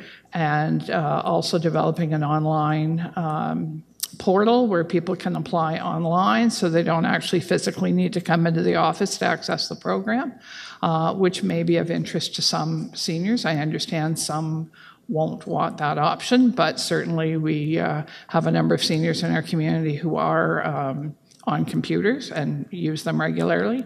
Um, and then, thirdly, the other thing we're going to go back to doing that we've gotten a bit away from is doing intake in other locations. So, for example, we'd do eligibility. It's a pretty mobile program because it is so simple. Uh, we can do intake at the senior center. We currently do it at Rideau Heights Community Center as well as uh, Montreal Street, but uh, we could look at doing intake. We used to do it in the front lobby down here at City Hall uh, in one of the meeting rooms. So there's a number of other locations where we could offer the service as well to make it a little more accessible to uh, members of our community. Thank you. So, if I could paraphrase that response, is it fair to say that it will be an easy process? It will be potentially private if it can be done online in the comfort of your home, and it will be decentralized. If you choose to do it outside of your home, you can do it in other city locations so you don't necessarily have to go to the social assistance building itself. Is that a fair recap? Yes. Thank you. And I think that those points address Councillor Neill's good points about uh, who this could impact potentially adversely. And hopefully, those of you who had those similar concerns will see that those have been well addressed in this report. And I think this report also well addresses what the My Kingston program was designed to do. We heard a moment ago that uh, this came out of the mayor's task force on poverty about 10 years ago. And in other words, it's intended to help those who are in need, and that's exactly what option C does. It deepens the discount while at the exact same time lessening the burden on the taxpayer, which I think is incredibly important. We're actually doing more with less, or you could say it's more effective and more efficient at once, which makes it good public policy. But of course, good public policy isn't just theoretical, it actually impacts real people's lives. And I thought I'd share very briefly two experiences that I had that solidified why this is a good option in my mind. And the first came from uh, this past municipal campaign. One of the first doors that I knocked on was a man who was working full time. He had two young kids, and his wife was working part time, so she could bring in some income but be at home with the kids uh, for the other time. And their combined income as minimum wage workers, full time and part time, was about $39,000 which would put them over the current threshold of support from the My Kingston program. But obviously, with $39,000 for four people, it essentially made everything except food and shelter a non, a non starter. They couldn't afford to put their kids in rec programs. They could hardly afford to get on the bus. And I think that's a big problem. So, this recommendation, which asks us to raise the threshold of who can be eligible to this program, is really essential for working class families. And more than that, as I said, it deepens the discount. So they're not only going to get 20% off, they're going to get 50% off. So for these kids who can't access recreational activities, who can't be in sports, it could be a, big game changer. So this is who it's for. In my mind, who it is not for, and this is the, the second experience I want to share, comes from my research with seniors and looking at uh, particularly aging well in rural communities. And what I found is, perhaps not surprising, that is, people who have pensions from a long, storied career of working, people who have government support in addition to that, and people who have property and family support. So, kind of four major financial streams don't really need discounted governmental programs. So, what this option does is recognize that and says, for those who have that ability, those who have that means, we shouldn't be supporting. But those who don't and those who need the support, we should, and we should do that in a more meaningful way. So, for that reason, I hope that everyone will support this. It's good financially and socially. And I thank staff for this great recommendation. Thank you. Thank you. Councillor Holland. Thank you, Your Worship. Um, so, the I guess I just want to start with uh, just building on a little bit on Councillor Kiley's comments, and also in response to something that Councillor Neill brought up. This report was not brought to us because um, there was any desire to take something away. It was brought forward because the existing policy for our municipal discounts is, ba- is to ensure that programs and services are accessible to people on low incomes. So at a certain time in our history, the, the groupings, the age based discounts factored in income, though it was more of a universal age based uh, approach. This report, all the work that staff have put into this, is trying to keep us in line with current policy. And if someone would like to have a new policy that's related to any age based reasons that we should be doing things, that's, that's another idea. But it is actually separate from what we are speaking about. We're speaking about need, and the need that has been demonstrated by the research and by the staff report is not in the age category where there is currently a discount. And in fact, the costs are going up increasingly over the next coming years because of, of what's happening with that demographic. So I just want to clarify that first of all. This is about policy. It shouldn't be about rhetoric. It's not about who's getting what and who deserves what. It's about the fact that there are individuals in this community, as Councillor Kiley has mentioned, who cannot access programs and services that are not just a convenience or a luxury or something to do on a Saturday afternoon. They are a matter of improving one's life, um, quality of life, improving their health, improving their ability to access education, um, new employment opportunities, for example, groceries. We had a program which we were, were quite proud of in the last term of council that was dedicated to providing free transit to uh, recipients of Ontario Works. We've received information from staff on what that program accomplished. What it accomplished was huge increase in ridership with a vulnerable population, and what those those transit trips did for those people. 84% of those people had increased access to they used it for personal appointments, for employment opportunities, to do things like get groceries. So what this report is about is about increasing access and deepening the discount to ensure that those people who are struggling with their household budget have the opportunity to access a, uh, what they need and to ensure that their children have future opportunities. That's what we're dealing with today. This recommendation came back with more information, more options. Um, the, you know, we, we've said as a council we're committed to 2.5% tax rate increase. Uh, this do, goes a long way to, to supporting us and bringing down the costs. And, you know, not to mention the fact that with increased ridership and transit, just as an example, we see an increase in the gas tax revenue, which accounts for 8% of the road repair budget that the City of Kingston um, that, that we have. And that's another priority that Council has. So it's good policy all around. This is, um, it's, it's a clear step forward in terms of equity, and many people who sit on this council would like to talk about progressive policies and progressive attitudes, and, and I, I would argue that this is the best way to demonstrate a progressive approach. Thank you. Thank you. Councillor Hill. Thank you, Your, uh, Your Worship. And uh, I, uh, at the risk of getting in trouble with all my old friends, I completely agree with what uh, Councillor Kiley and Councillor Holland have said.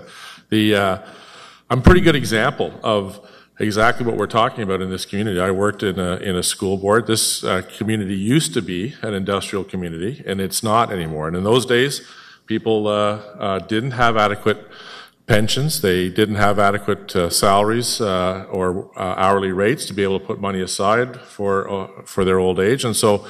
In many cases, I think we introduced uh, uh, these kinds of discounts, senior discounts, in order to address the fact that when people moved out of the workforce in those days, they did move into lower income bracket, and in some cases, many cases, into poverty. The community has changed substantially since that time. So this is really a mush sector community, right? This is People work in municipalities, they work in universities and school boards and hospitals and government. Uh, and I read, uh, and, and they have good pensions. And I think I understood uh, what, what I read that the median income for seniors, retired people in this community, is actually uh, at the level of the median income for the for the community as a whole. So it's, it, you know, people who are retired people in this community, for the most part, are doing quite well. And I would be, as I said, a, a pretty good example of that kind of person. If you're, at, I read somewhere where uh, uh, one of the one of my colleagues indicated that you know immediately upon retirement you're poorer than you've ever been because by definition you make less money. Well, that, that's really not the case because you have much more disposable income than you've ever had. Ten years ago, I had kids in university. I had car payments. I had a mortgage. I don't have any of those things now. And again, I've, I've had a very blessed life. I feel very fortunate to be able to say that. But I don't need a discount. That's an absolute certainty. And I think many, many of uh, my uh, fellow senior citizens in the, in the community also would suggest that uh, their income levels are, are such that they don't require those kinds of discounts either. What we do need to do is address the level of poverty among other citizens. We, we need to make sure that, that kids and young families have access to the services that this community can provide. And if, if I, I'll, redirecting some of the, the resources that go to folks like me who don't need them to folks who do need them is a very good allocation of resources. It's responsible, it makes sense for our community, it addresses a, a really obvious and particular need, and it's not uh, at the uh, expense of, uh, of sort of a, a marginal income. Uh, uh, for, for, for many of our seniors, because many of our seniors are doing very well, and uh, and I think they would acknowledge that too. Uh, and it's one of the reasons why our seniors give back to their community so much. They, they volunteer. I, I, I also heard, you know, read that it's sort of in recognition for the level of volunteer work that senior citizens do in our community.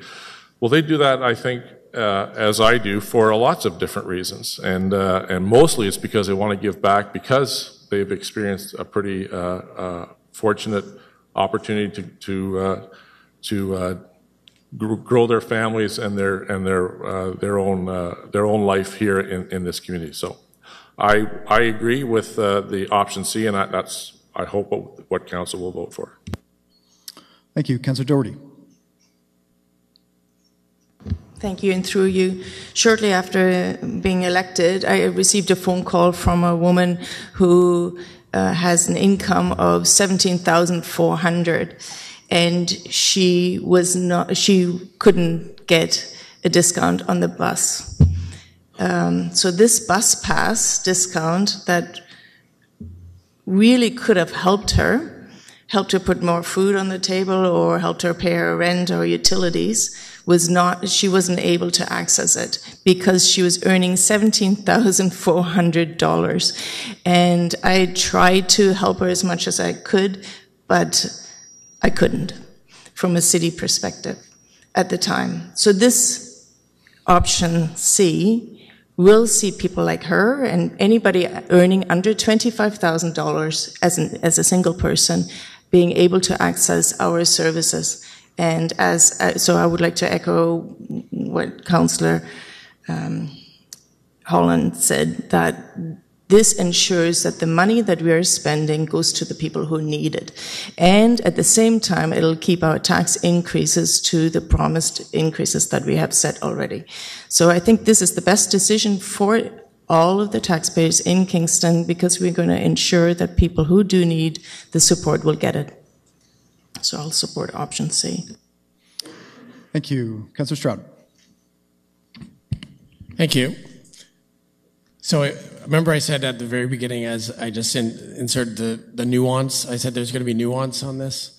So there's two very different things uh, in in this recommendation, and recommend it just if you turn to page 251 of your package, you'll see the table with options A, B, C, D, E, F, G on it, and, and it's useful because it actually shows you a bunch of different combinations of the two different things. It's apples and oranges. It's apples and oranges. So um, option C, if you're following, which is what was recommended by staff after the staff analysis, is to eliminate the age-based discount and provide only the income-based discounts, changing the threshold from the very low LICO to the LIM 15, right? So most of the comments from the from the four previous speakers had to do with that aspect that the progressive uh, policy making would demand that higher income based threshold, the LIM 15, as is recommended. And there was a little bit of uh, explanation of why it was okay to scrap the seniors discount. Um, because it was not needed, as Councillor Hill said, or, be, or because, uh, and, and times have changed, or because the people that are that need the discounts will still be able to get them if they apply, uh, which is a little bit more debatable. But the, the point is, it's two different things. So you have to decide in your mind about the seniors discount, and then you have to separately decide in your mind about increasing the threshold for the discount, discounted services. Um, and there's a menu there, right? So you could leave it as is at the LICO. You could go to the intermediate threshold, which is the LIM AT. You could go to the higher threshold, which is the recommended uh, option C, which is the LIM 15. And then you, as you see, as you go down the list, there's the next four options retain some or all of the seniors discount. So option D, reduce the age-based discount 15% and go to the intermediate lim AT, or reduce it 15% and go up to the lim 15. So that's D and E. And then F would be keep the age-based discount exactly the same, go to the intermediate threshold at lim AT, or G, the uh, keep the seniors discounts and go to the lim 15. So I would suggest that option G actually is does also um, exactly the same thing for the threshold, the LIM 15. The, the problem being that it continues age-based discounts. So then you go over to the projections. And those numbers down that column, that's what they are, the projections, okay? They're not real numbers. They're not, none of them are, are measured numbers. And that's where this report lost me. This report from staff lost me on those projected numbers. I, I did not agree with the with some of the assumptions, and I don't, do not agree with the uh, outcome of their projections. I did not agree that the 962,000 would be a real cost as compared to uh, the current. So, according to the report, there would be an extra $209,000 in 2021 between option A and option G. Okay? And that's with the status quo, without changing anything. Okay? So that $209,000, to me, it's not worth it. It's not that some seniors might be able to live without a discount. The fact is, as Councillor Neill said, we, they, they will be shocked if we remove it, and I don't think it's right to remove it, and I don't think that the, the amount of money we might save, uh, according to an estimate, is anywhere near correct justification for removing it. What we need to do is separate the two items, discuss what threshold is appropriate, and I'm I think LIM 15 is probably a good threshold. So I agree with the councillors on that point. But I I guess what I'm saying is either we leave it exactly the same or we discuss option G. 30 seconds. And so I will be, as I did at committee, voting in favor of the negative recommendation to say no to option C. Thank you. Thank you. Is there anybody else that wishes to speak? Uh, Councillor Osanic. Thank you, Your Worship.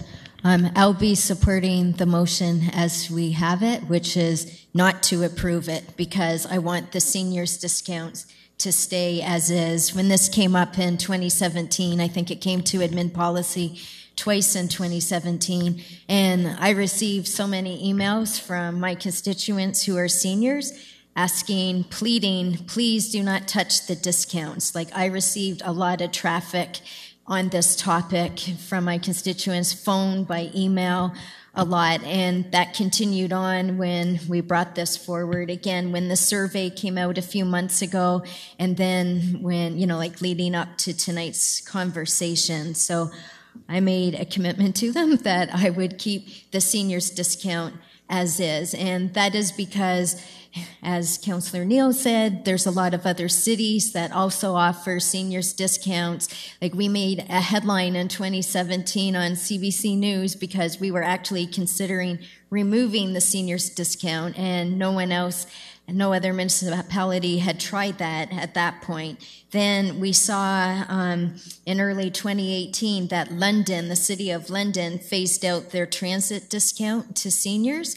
And since the election last year, right now, the new council is trying to bring the seniors discount back to their transit. I don't want to make that same mistake. I understand that what we're deciding tonight. Like for me saying this, it is a political decision. I understand, you know, the policy that um, other counselors were conveying, and I get that. And I also want to thank staff for trying to put all the numbers you know, all the data, the numbers that they've crunched since 2017. I understand that too, and thank you for doing all that work. But it is a political decision whether to remove the seniors discounts or not, and I don't want to do that. Another thing that happened in the West End was that, as we've heard, the YMCA swimming pool and the entire fitness facility in the West End, you know, is no longer available, and um, fitness is so important to seniors, and that's what I was hearing a lot from too. Now the seniors in the West End,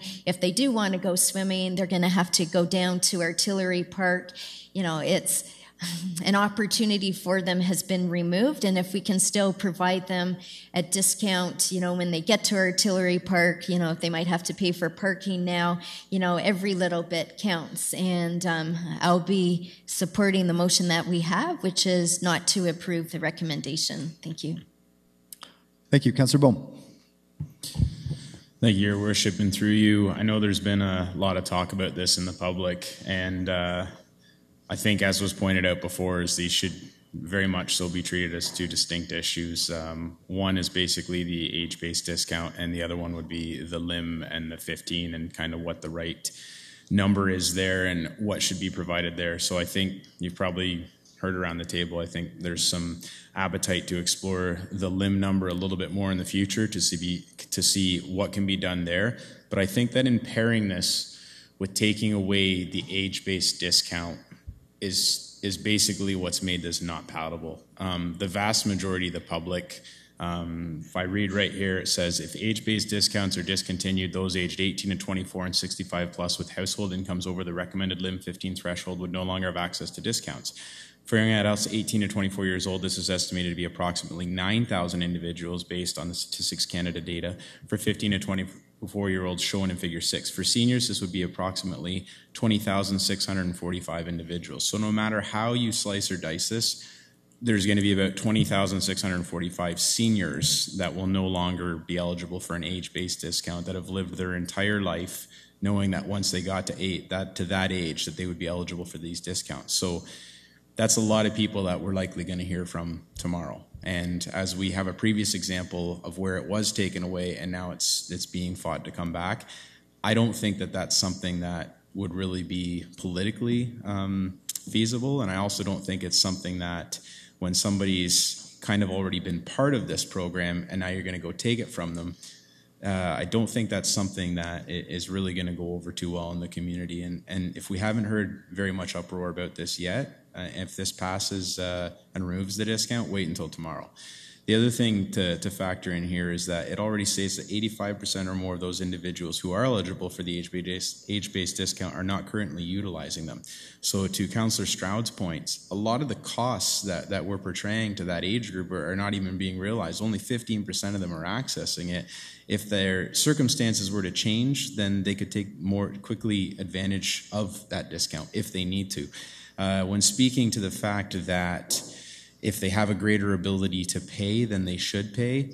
Part of the problem was when I read this report is there were some justifications that kind of leaned one way and some justifications that kind of leaned another way. Some of the numbers didn't really add up, and then in the end you just get this. We we sort of recommend C, but you're really talking about 150,000 to maybe 200,000 dollar range spanned out over five or six years, which that's not a lot of money. So in my mind, you're kind of robbing Peter to pay Paul, if I may.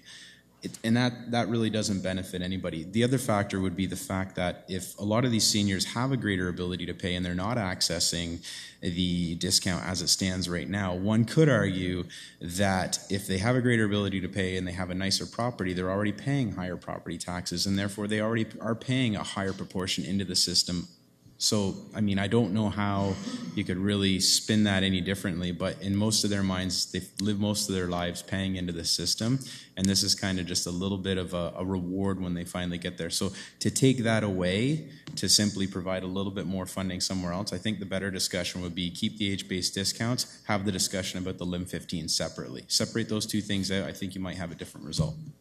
Thank you. Thank you. Is there anybody else that wishes to speak? Councillor Chapelle. Yes, through your worship.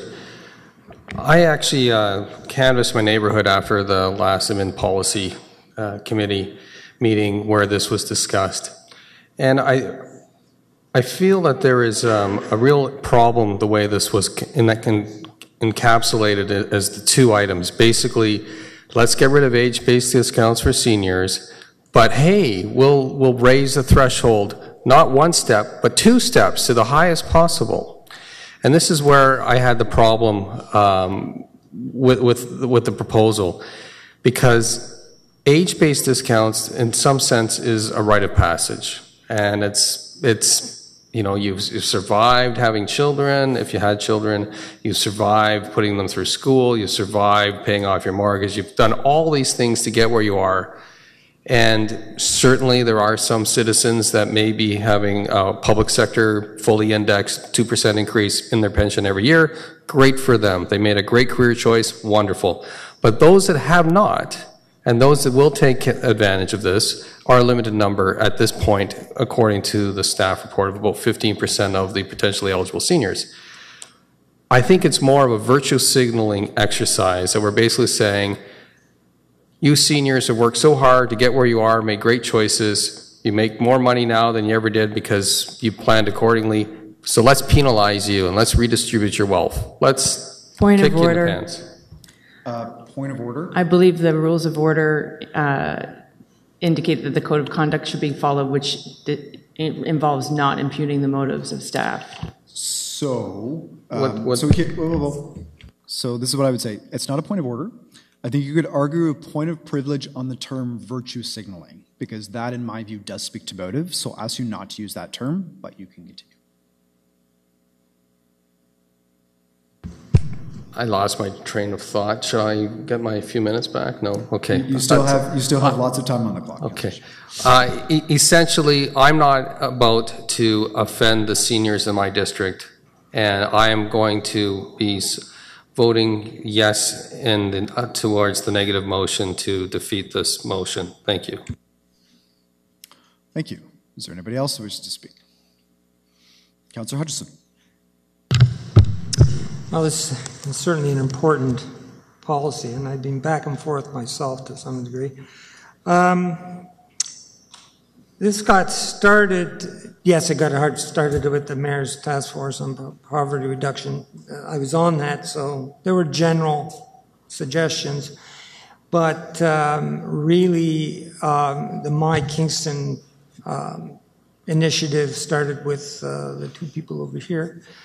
Um, Ms. Hurdle, who was not the acting interim CAO, can't keep up with your titles, and the now commissioner, uh, the um, Sheila Kidd, who brought us at our request to the art committee.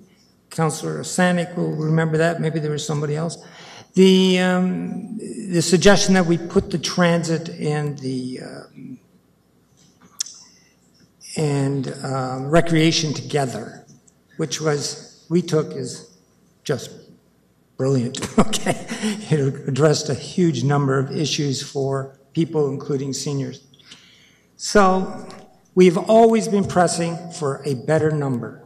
Okay, because we realized thousands of people who were economically pressed, or even by definition poor, did not qualify. Okay. They brought us the numbers on that, and we just went, I could just remember the committee, like everybody sat back and said, oh my God, right? The cost of this, right? So just to me, I appreciate what this is. We deferred it the first time uh, because of the issues that have been brought up, okay, tonight, yet again. And I appreciate the counselors that are supporting uh, the, the, the option C because it's a better good. There's no doubt about that. But is it the best good? And should we be going for the best good? And that's what bothered me because I'm concerned about what we call middle income person, but really isn't. Okay? Just to give you an example, I was at the Housing Task Force the other day, and I had analyzed, based on provincial uh, uh, documentation statistics, how many people, how many households are um, would would qualify for housing subsidy based on their gross income. It's between 50 and 60% of all households would qualify. At 60%, the average, the, the average two bedroom is $1,200. It's 60% of households going up, of course. Um, that means that um, that the um, 60% households that they could afford 1,220 based on the income that in the sep- for renters. Okay, they separated out owners from renters. The people that are 50%, uh, basically the median for households, and down, those are the people I'm concerned about. They're getting cut off here. Part of the problem with the report, and I, said this before, and I asked for this, but it didn't come back in that form, asked for it in 2017, is it's after tax income. Now that works for some of the analysis, so, you know, it's, it's a mixed bag. But without the gross income for those uh, folks, you cannot tell whether they make the 30% uh, uh, income issue for those on what they can afford for household rent, which is the, one of the main ways in which we determine who's poor and who isn't. Okay? So, who gets left out here? Well, the people between those who have enough, which has been described, and it quite rightly exists, but they're pulling up the average. It's the people that I remember who've said to me, don't, do, don't take it away because 30, it means something to the quality of my life. I'll be done in two seconds. 30 seconds. So I ran on this. It's in my literature. You can go read it.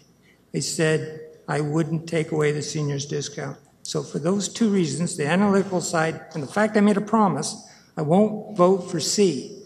I might vote for G if we raise the level, which I remember another counselor, won't point to them, but they're here, uh, who said, oh, maybe if the, even in 2017, if they raise the level, Council, then we would do it. Okay, thank you. Councilor Oosterhof. Thank you, Mayor Paterson. And I do want to speak to it as well. I really, really appreciate um, everyone's comments because, um, like uh, Councillor Hutchison, I, I, I, can see both sides uh, of this one. And I have not received a lot of phone calls, um, but um, I have received um, um, some, and they asked me not to support uh, this one. So, but um, most of the comments I have from seniors that I've asked is that they that we would continue some age-based discounts, but uh, whatever level. But um, I really do really hear uh, Councillor Kiley and. And, and, his thoughts on it. I appreciate them. Um, I just don't think it's going to be the right thing to completely cut off the age based discounts. People are looking for it, are expecting it, and feel that they deserve it and um, it, um, it might be it might be feel disrespectful to them. So uh, I hear that. I, I, I, do acknowledge that many many of our, our and thankfully we have a, a community of seniors. Um, I don't think seniors will take the discount if they don't need it. So um, so. I, um, I will not be supporting uh, option C as well, but I look forward to something like G and uh, making uh, maybe adjusting those numbers a bit. Thank you.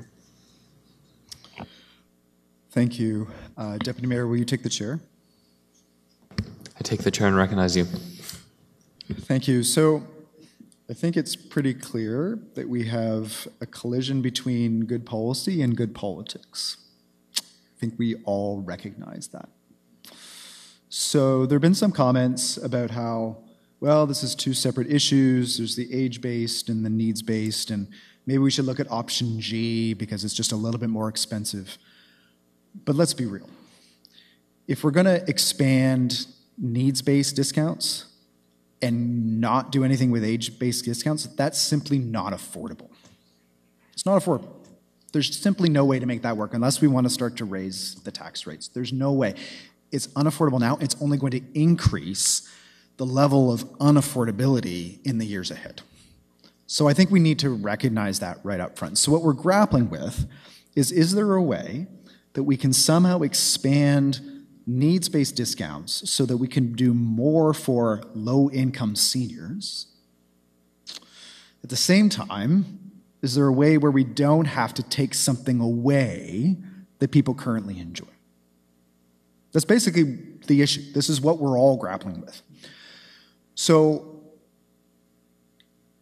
I am intending, if option C does not pass, and by the math, it's not going to pass. So my intention is to put forward a compromise option that will grandfather existing age based discounts. In other words, nobody that has their age based discount today will lose it. It's only looking forward that we will phase it out, and that will give us enough room to at least raise the threshold on needs based from LICO to LIM.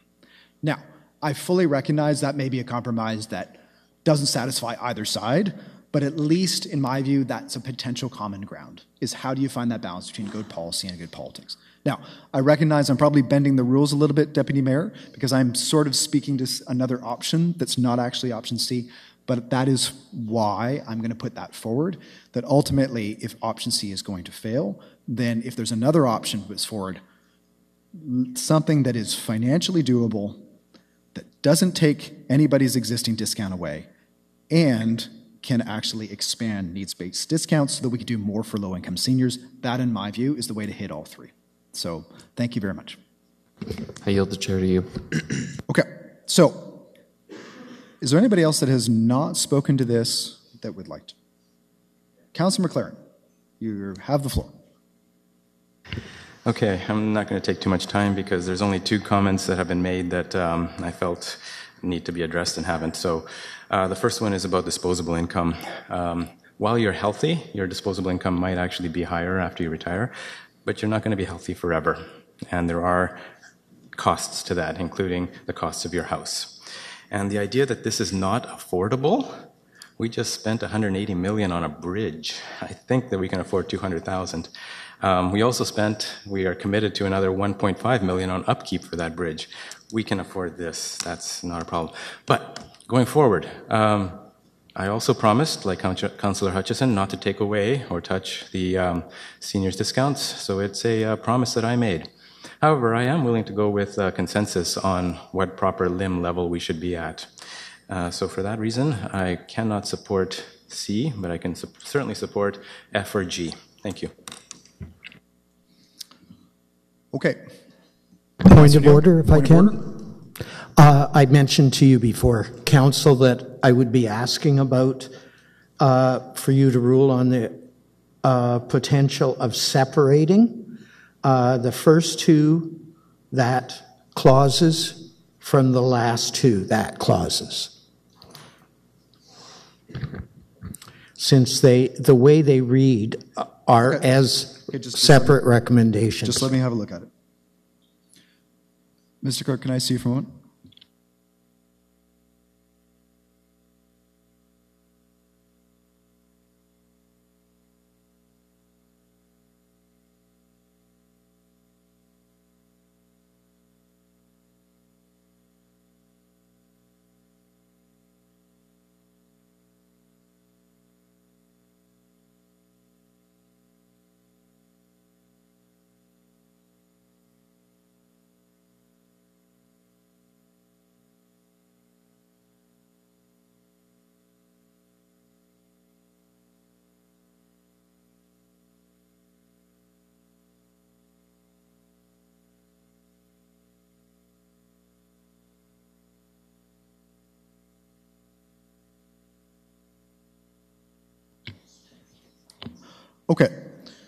So, okay, so here would be my ruling, Councillor Neill. So the last two clauses would effectively move, go with any of the options. So separating, the last two clauses do not apply to option C. That's correct, and that's what the intent of my mo, of my motion to separate those. So the reason why we wouldn't separate that now is to allow for another option to come on the floor that would have those two clauses. So if nothing passes and we're left with status quo, then you could put those two clauses on the floor at the end. Does that make sense?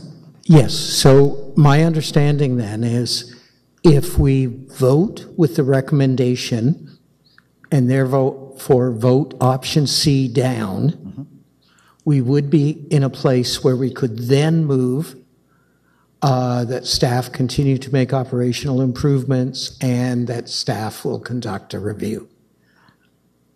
Because those are separate uh, intents. Right. Okay. But, I, but I'm only going to permit that at the end once any other options have been. Okay, but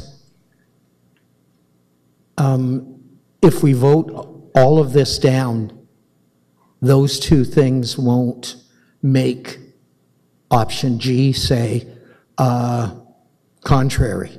No, because the thing is is contained as one one recommendation. So another option can come forward with those same those same two pieces attached to it. Okay, thank you very much. Okay, everyone clear on that? Councillor Doherty, point of order. Uh, point of clarification. Okay, sure. The rec- your recommendation, can you just go over that? Was that the LIM plus 15 or just clarifying what you were recommending? Yeah. So I don't I don't think that I can do that. I think that that's that's not really a point of order. So I think we'll just have to just go go with your your gut on that. So we are really just at procedural questions right now. So just to remind council, so we're going to do the vote on this.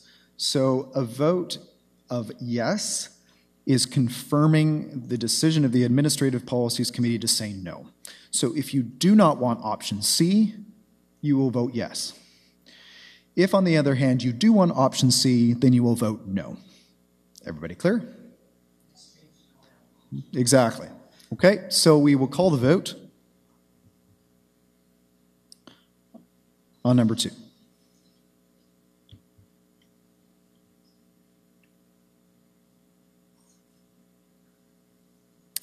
And that carries by a vote of nine to four.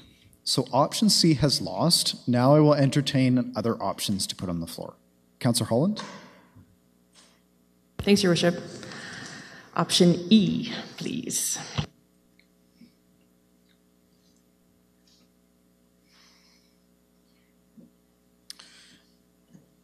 Okay. Do we have a motion for option E? Can I see that?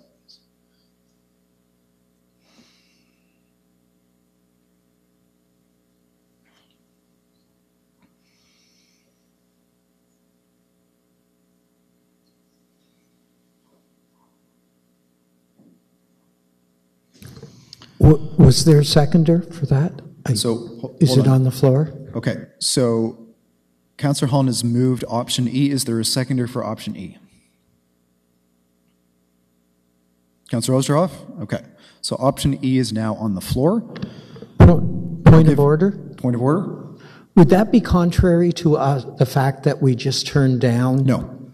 Age-based? No. So my ruling is that option C was what was turned down, and that included all of the details of option C. So that means that every other option is still very much in order. Can, can I ask a, a question of staff related to the option on the floor? If you'll recognize me or recognize yes, me when, later. when we get to it, but right now, Councillor Holland has the floor because it's her, her motion. Councillor Holland? Thank you, Your Worship. Um, well, I think this, I mean,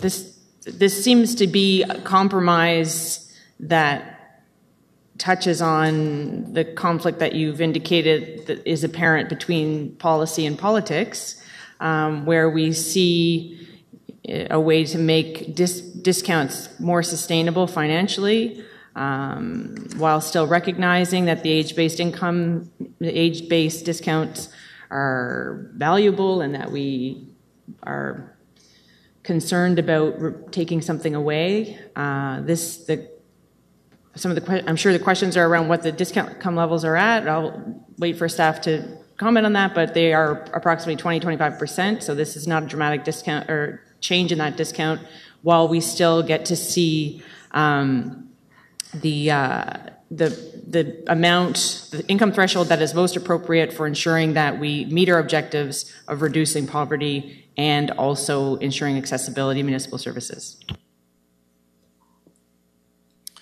Okay, Councillor Neill. My concern, and I should have brought this up when we were debating about option C, but my concern is if we're talking about age based, both our youth and our ch- children's free passes are indeed age based, and they're age based discounts. So, is this a slippery slope where we're putting in jeopardy a really popular uh, program whereby students and children get free uh, bus passes?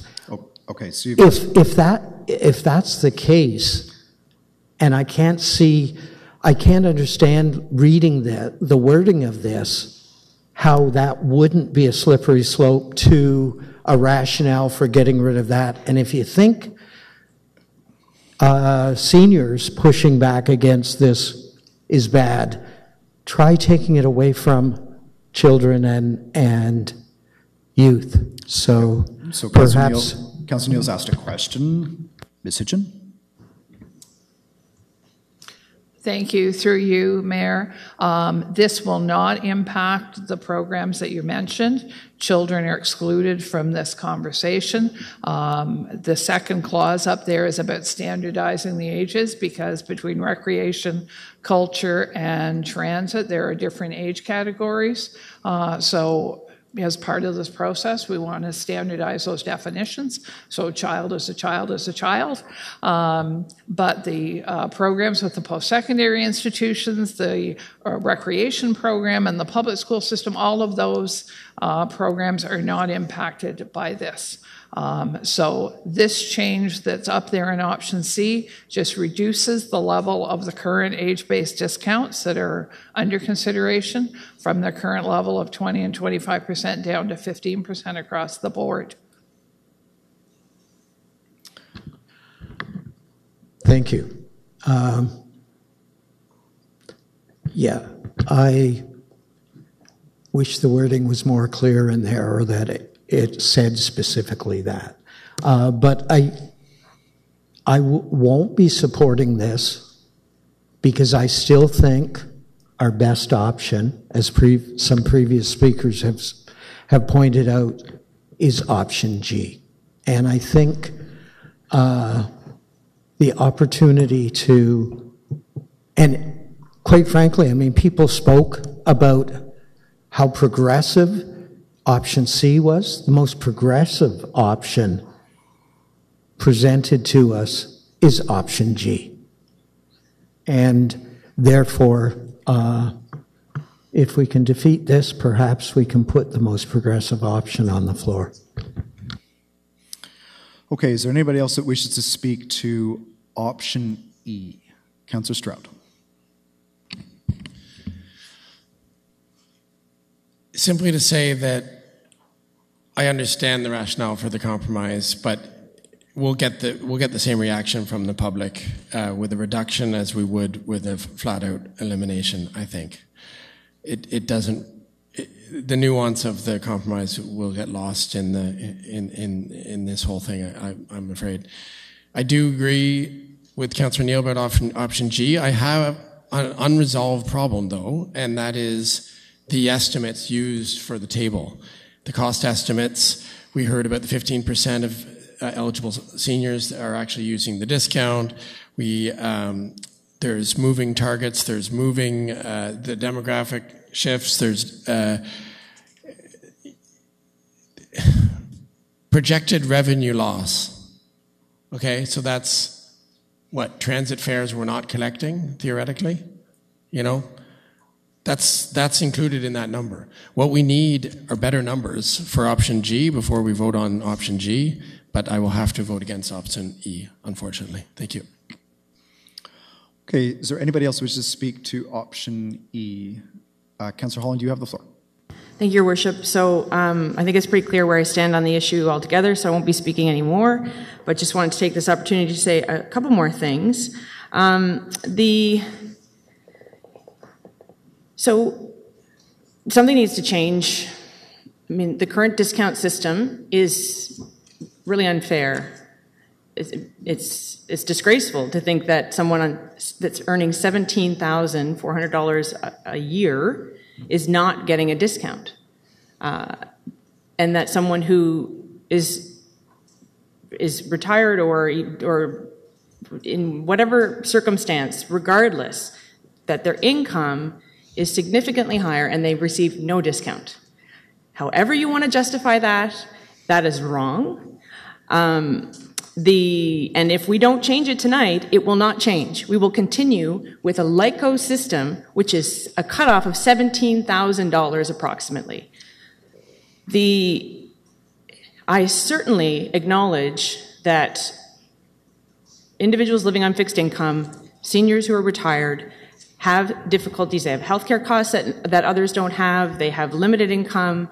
I certainly get the, the rationale. My parents worked their whole lives. They can't afford home care. This is not, um, you know, but that is not what this program is meant to be doing. It's not meant to be a retirement benefit for someone. It's meant to be a needs-based program. That's how it was initiated. And I, and I would simply like to have us reflect on the intention of it. It's not like it's easy to, to say the things I've been saying. I get contacted by people who tell me that they'll never elect me, I will never be electable ever again because of this decision. If you're not hearing from a resident who's earning $17,400, I can tell you why you're not hearing from them.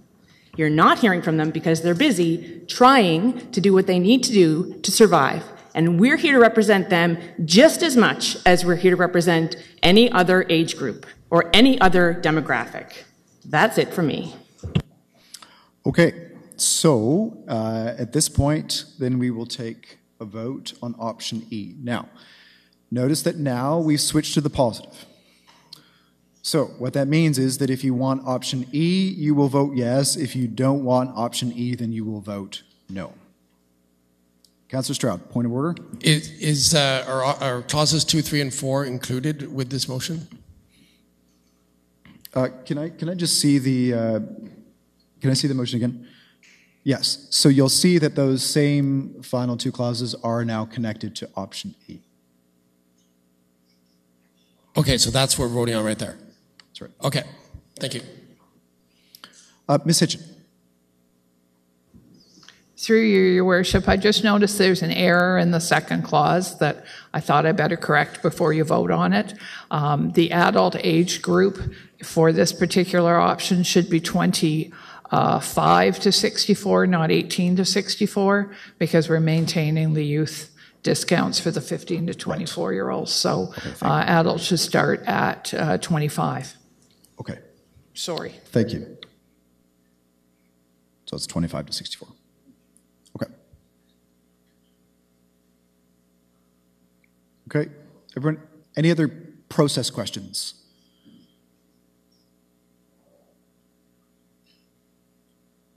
Okay, everybody's clear now with that change? Okay. Okay, we will call the vote on option E. Please vote.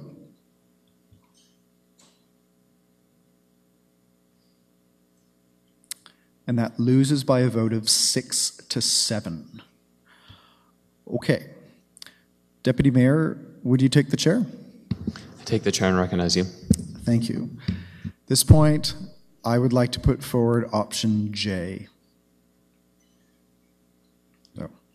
Okay. Some option with the grandfathering, phasing out of age based discounts, and, uh, and an increase to LIM.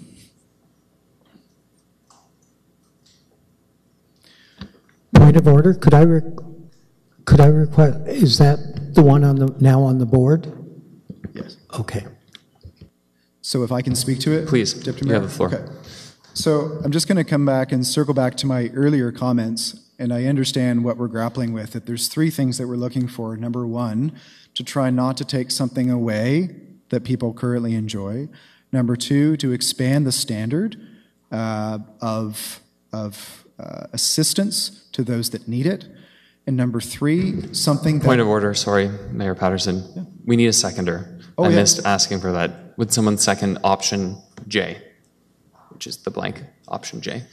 A seconder for this? Councillor Hill, thank you. And Thank you. So, so just to be clear, there is no option J. This is just another option that's being presented. J doesn't exist within the report. Thank you. Sorry, I will try not to throw out random letters. Uh, it's getting late. Yes. Um, so I, I just come back to the three things I think we're grappling with. Number one is not taking away something that already exists that people enjoy. Number two, something that it can expand assistance to people that need it. And number three, something that is financially manageable. Now, there have been some comments earlier to dismiss it that, oh, it's no big deal. These are operating dollars that ultimately are going to increase year after year after year. So, just to be clear, some of the other options that have been suggested are actually more expensive than what we already have. So, I'm looking for something that can at least hold the line. This is something that ultimately can at least keep the cost more or less the same, but provides a shift that, in my view, is more palatable. So that's why I've put this forward. I understand it's a compromise. So I guess the question that I would ask of every counselor is, right, do you want to compromise or do you want to risk getting something very different from what you really want? That ultimately is what every compromise is about. If this is something you can live with, in my view, you should vote for this. In my view, this at least tries to hit everything. It doesn't satisfy everybody around this table, but I think that this is something that we can argue is a reasonable move. It addresses the issue that the current system will become increasingly unaffordable, but at the same time is something that will not take away anything from a resident in this Kingston. Anybody that has a seniors discount today will continue to enjoy that seniors discount. So with that, I reserve the right to speak last, but I offer it for council's consideration. Thank you. I yield the chair to you.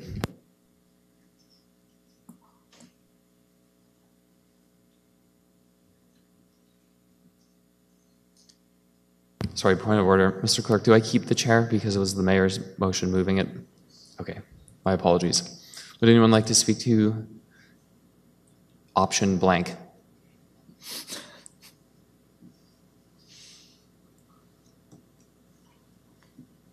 Oh, sorry. Councillor Hutchison. I should have stuck it in his eye. The uh, written on his eyeball. The um, my I'm fine with um, uh, clause two, three, four, five. The um, phasing it out. Um, I suppose that's a silent way of doing it. Maybe. Um, I, I think there's another route here, actually. And uh, it seems to have got lost in the shuffle.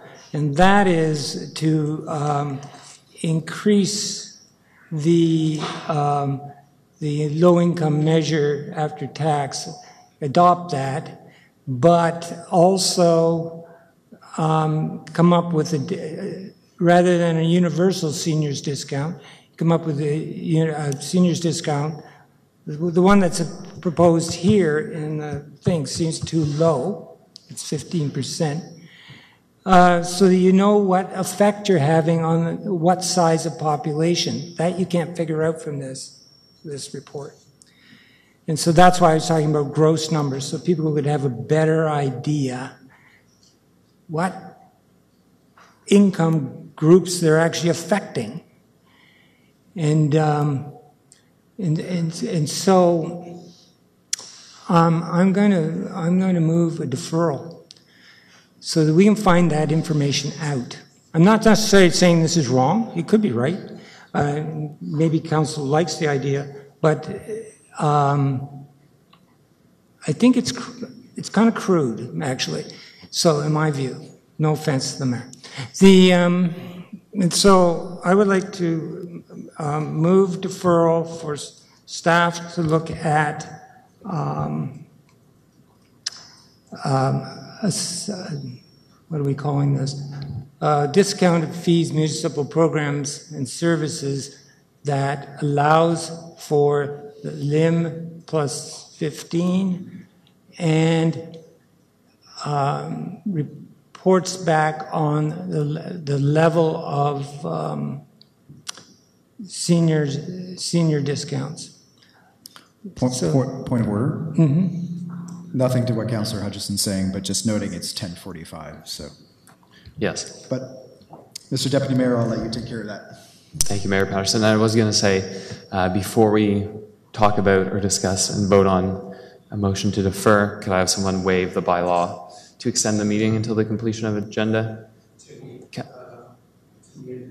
Correct. Councillor Neill, seconded by Councillor Osanic. And we'll vote on that.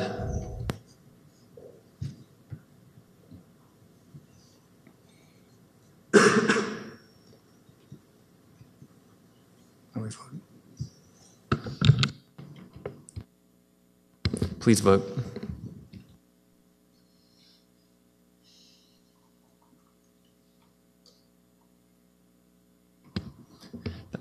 That passes. So back to the motion to defer.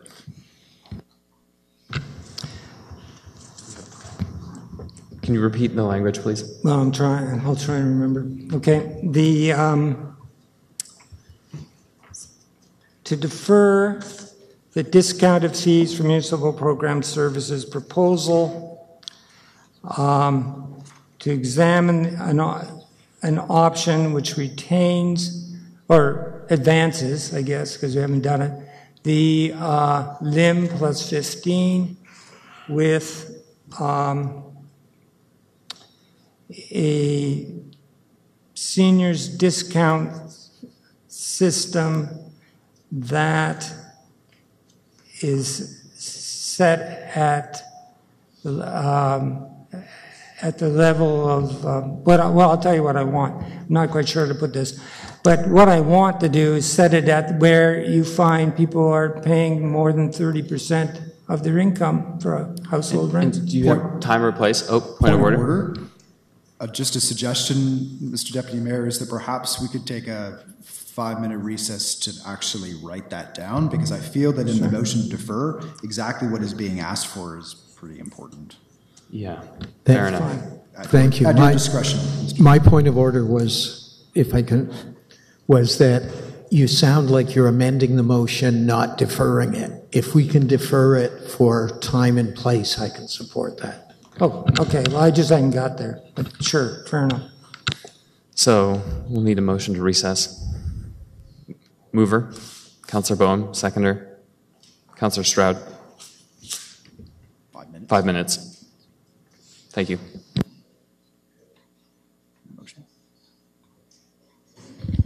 Councillors, please don't leave. We need you to vote. Councillor Neill? We need you to vote. Uh, It does say motion to defer. Please uh, accept that this is a motion to recess. You can vote now.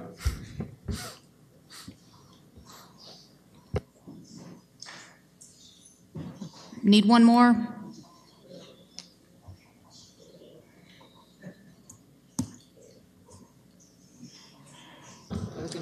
Oh, wait, we need to reconvene. And I was incorrect initially. We did need to vote for that second five minute recess. So if you haven't, it's on the screen. Please vote for something that just happened.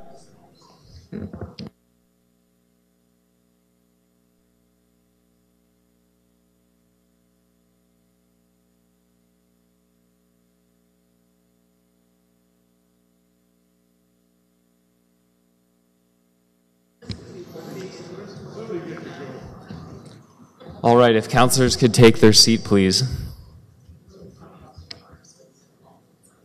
Again, I misspoke. We did need to vote on the recess. There was a motion to recess on the board, and I misinstructed you. Please vote in favor of something that just happened.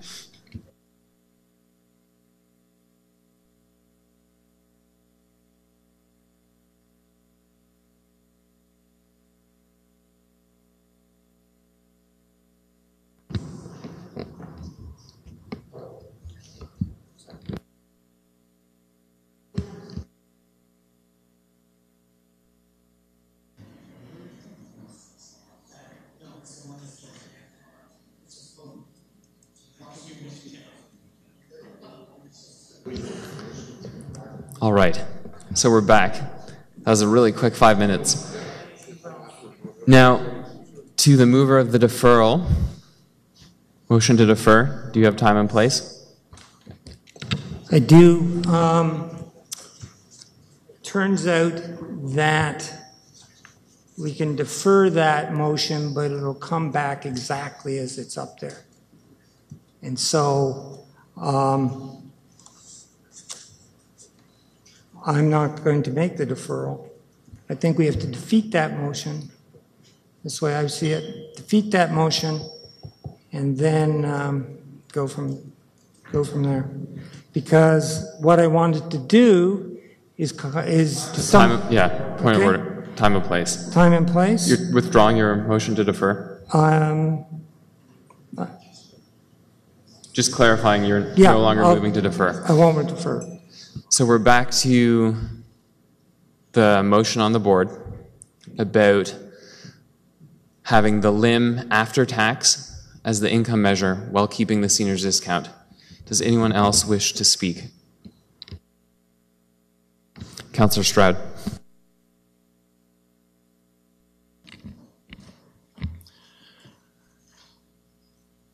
I uh, would like to move deferral to the Administrative Policies Committee so that staff can give uh, an analysis of this option in the context of the previous report, and so that pub- members of the public who may wish to speak can do so at committee.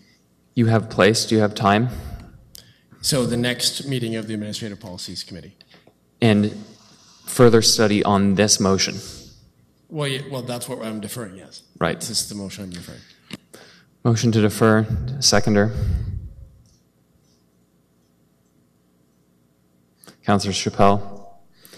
Anyone on time or place? Motion to defer. Point of order. Uh, question of clarification. If we were to defer this, will option G still be a possibility at a later date? Mr. Clerk, perhaps Councillor McLaren, you could repeat your question. If we were to defer this motion to admin policies, will option G also be there as well? And when it returns from administrative policies back to council, will option G also be one of the options at that point? Through Mr. Mayor, or Mr. Deputy Mayor, um, all options would be available in the sense that if the motion that comes back is defeated, then an alternative option could be presented at that time. So the short answer to that question is yes. Point of order. If I'm able to do that as chair, I'm not sure. Since you're the chair, you can just ask the clerk the Okay. question. Option C and option E have been defeated. Would they also come back? No. Thank you. I saw a hand. Councillor Boehme speaking to time or place for deferral. Yes, uh, Mr. Deputy Mayor, and through you to time, would deferring to the next admin policies meeting give enough time for staff to gather the required data and provide notice to the public who may want to provide input on this, or would a, the meeting after that be more appropriate? Is a question to staff, I guess.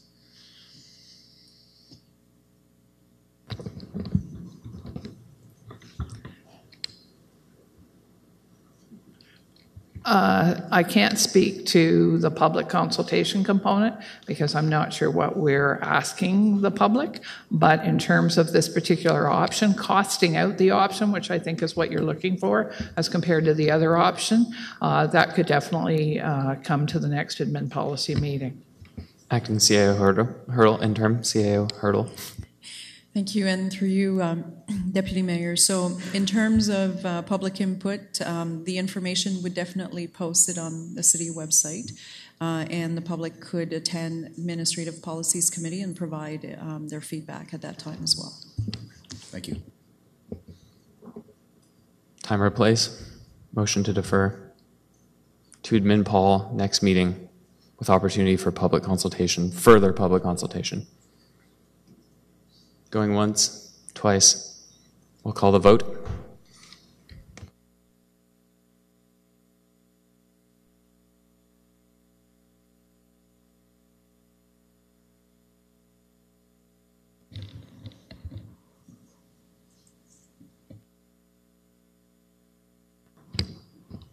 And it passes.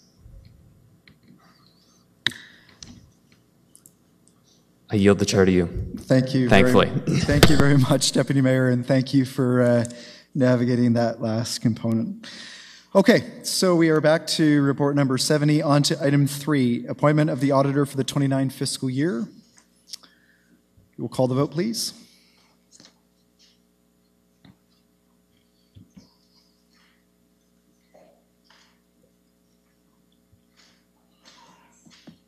And that carries. Okay, report number 71 from the Environment, Infrastructure, and Transportation Policies Committee. I have here said report, and it's moved and seconded uh, for council's consideration.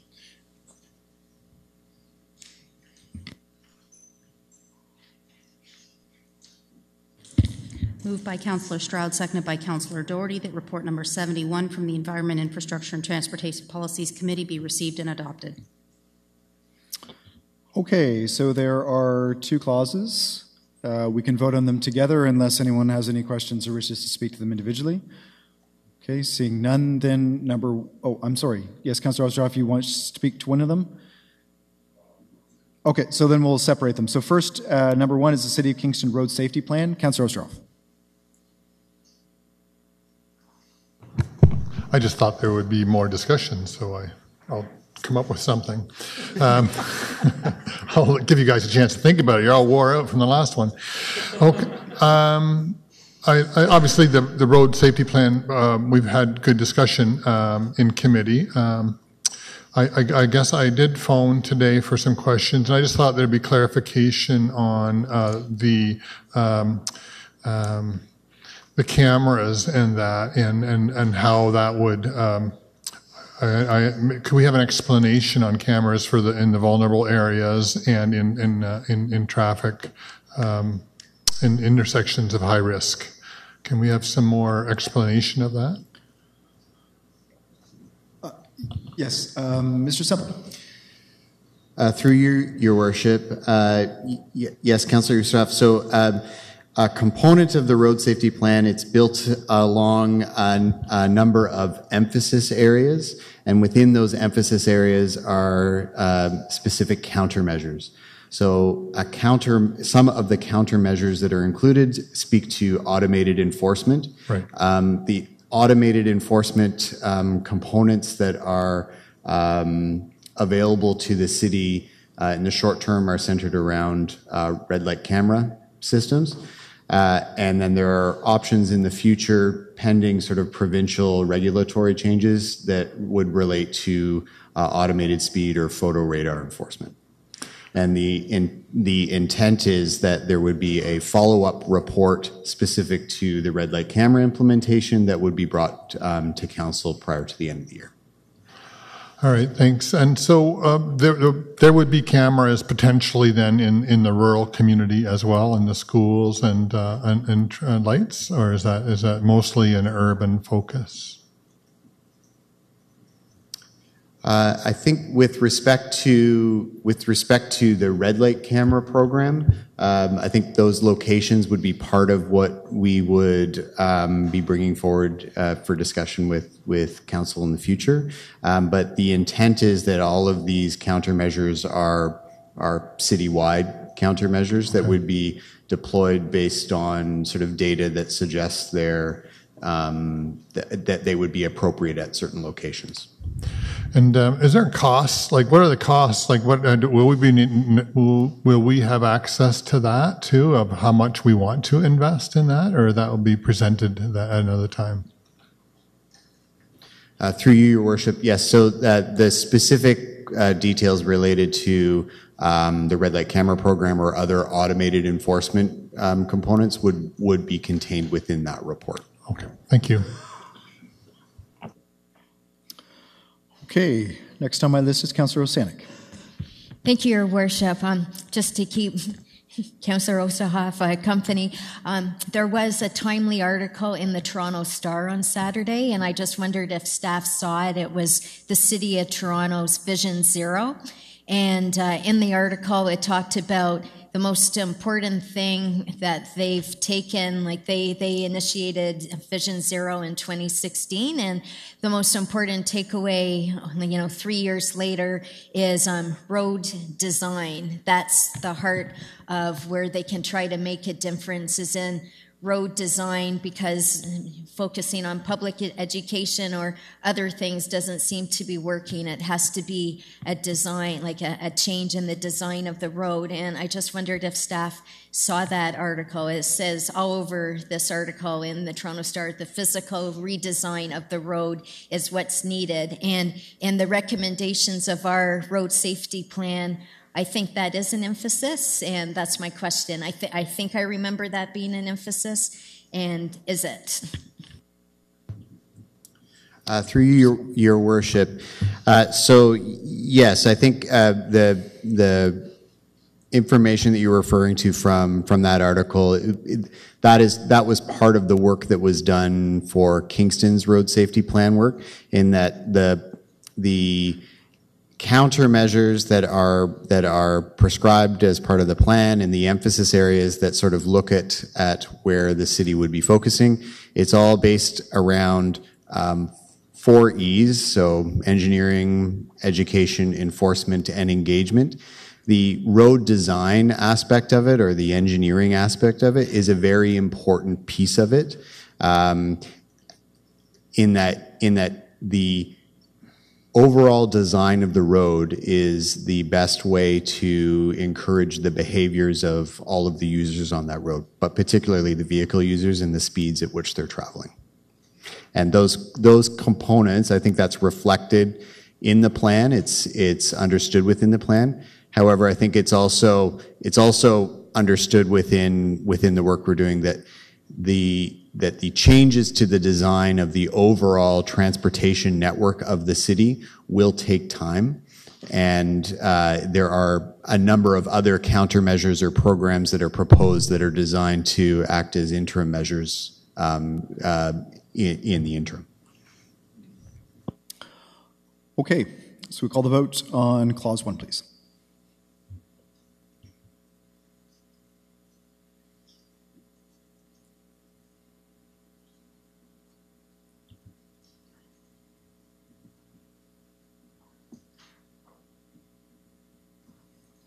Waiting for two to vote.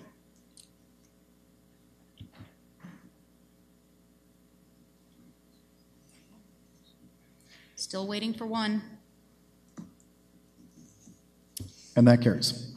Number two, options for single use plastics reduction. Call the vote, please.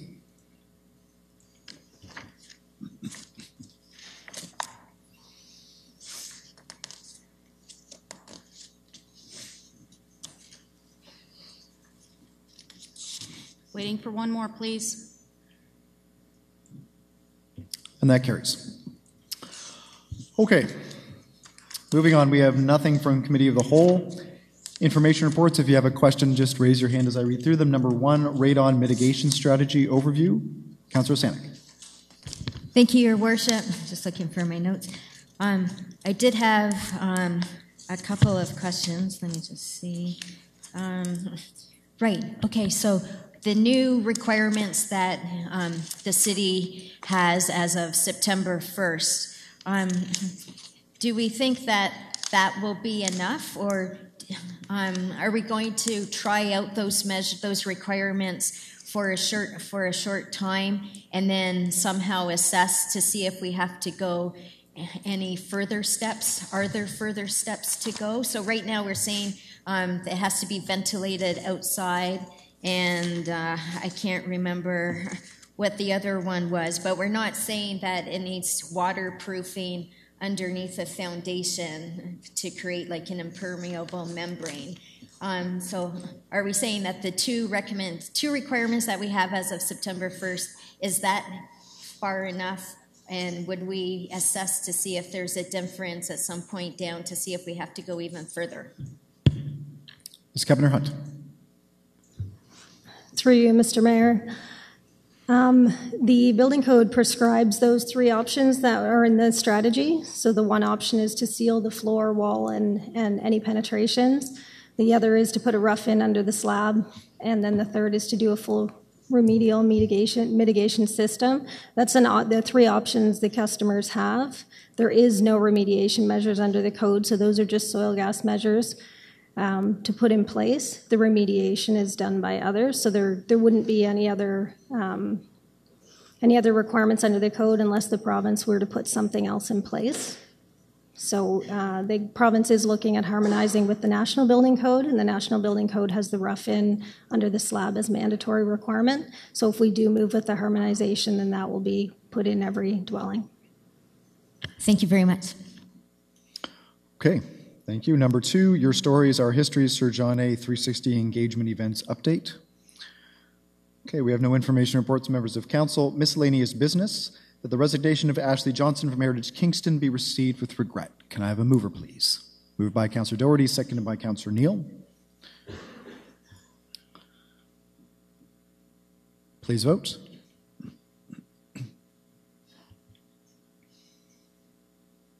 And that carries. Okay, we have uh, one new motion, so I'll turn it over to the deputy mayor, please. I take the chair and recognize you. Actually, what if you could read the motion Oh, and just moved uh, by you, yes. Moved by Mayor Paterson, seconded by Councillor Osanic, that the following members of council be appointed to the Chief Administrative Officer Recruitment Committee. Mayor Paterson, Councillor Chapelle, Councillor Doherty, Councillor Holland, and Councillor Hutchison.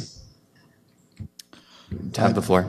Thank you. I, I think that the motion is self-explanatory. Obviously, this is a, a key piece in our recruitment for a new CAO. I think that the only thing that I will say is, having spoken with council, um, that my goal was to create a, a committee that is diverse on several different fronts. Uh, there's a diversity of political leanings. There is a diversity of tenure, uh, from veterans to uh, to new councillors, uh, and then also on gender as well. So certainly hope that council can support this.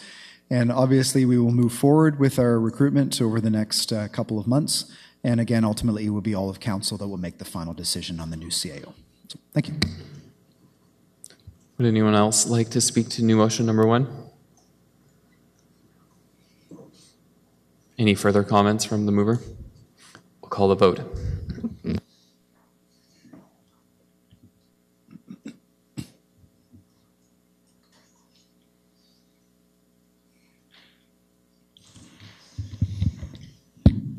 Waiting for one vote, please. And it passes 13 0. Yield the chair to you. Thank you very much. So, moving on, are there any notices of motion? Okay, seeing none, Mr. Clerk, ask for minutes, please. Moved by Coun- Moved by Councillor McLaren, seconded by Councillor Hutchison, that the minutes of City Council meeting number 2019-20 held Tuesday, August 13th, 2019 be confirmed. Please vote.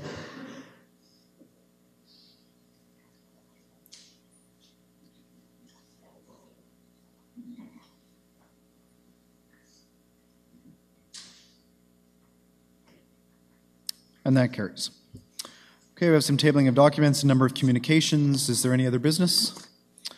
Motion to adjourn, please. Move. Oh, a bylaw. Sorry, I wish. Okay, Ms. Clerk, ask for bylaws, please.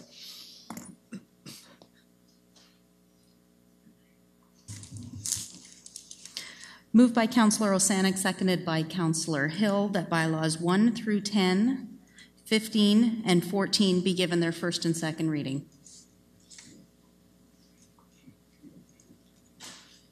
Please vote.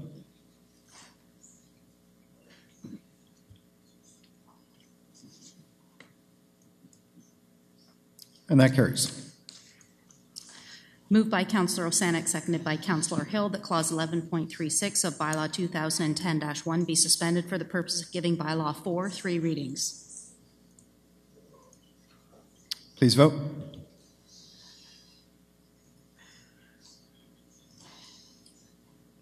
That carries. Moved by Councillor Osanic, seconded by Councillor Hill, that bylaws 4 through 13, 15, and 14 be given their third reading. Please vote.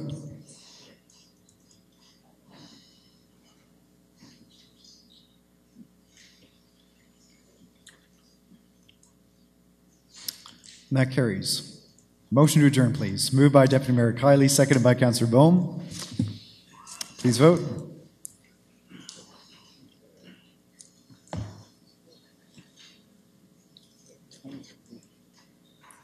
And that carries. Thank you very much.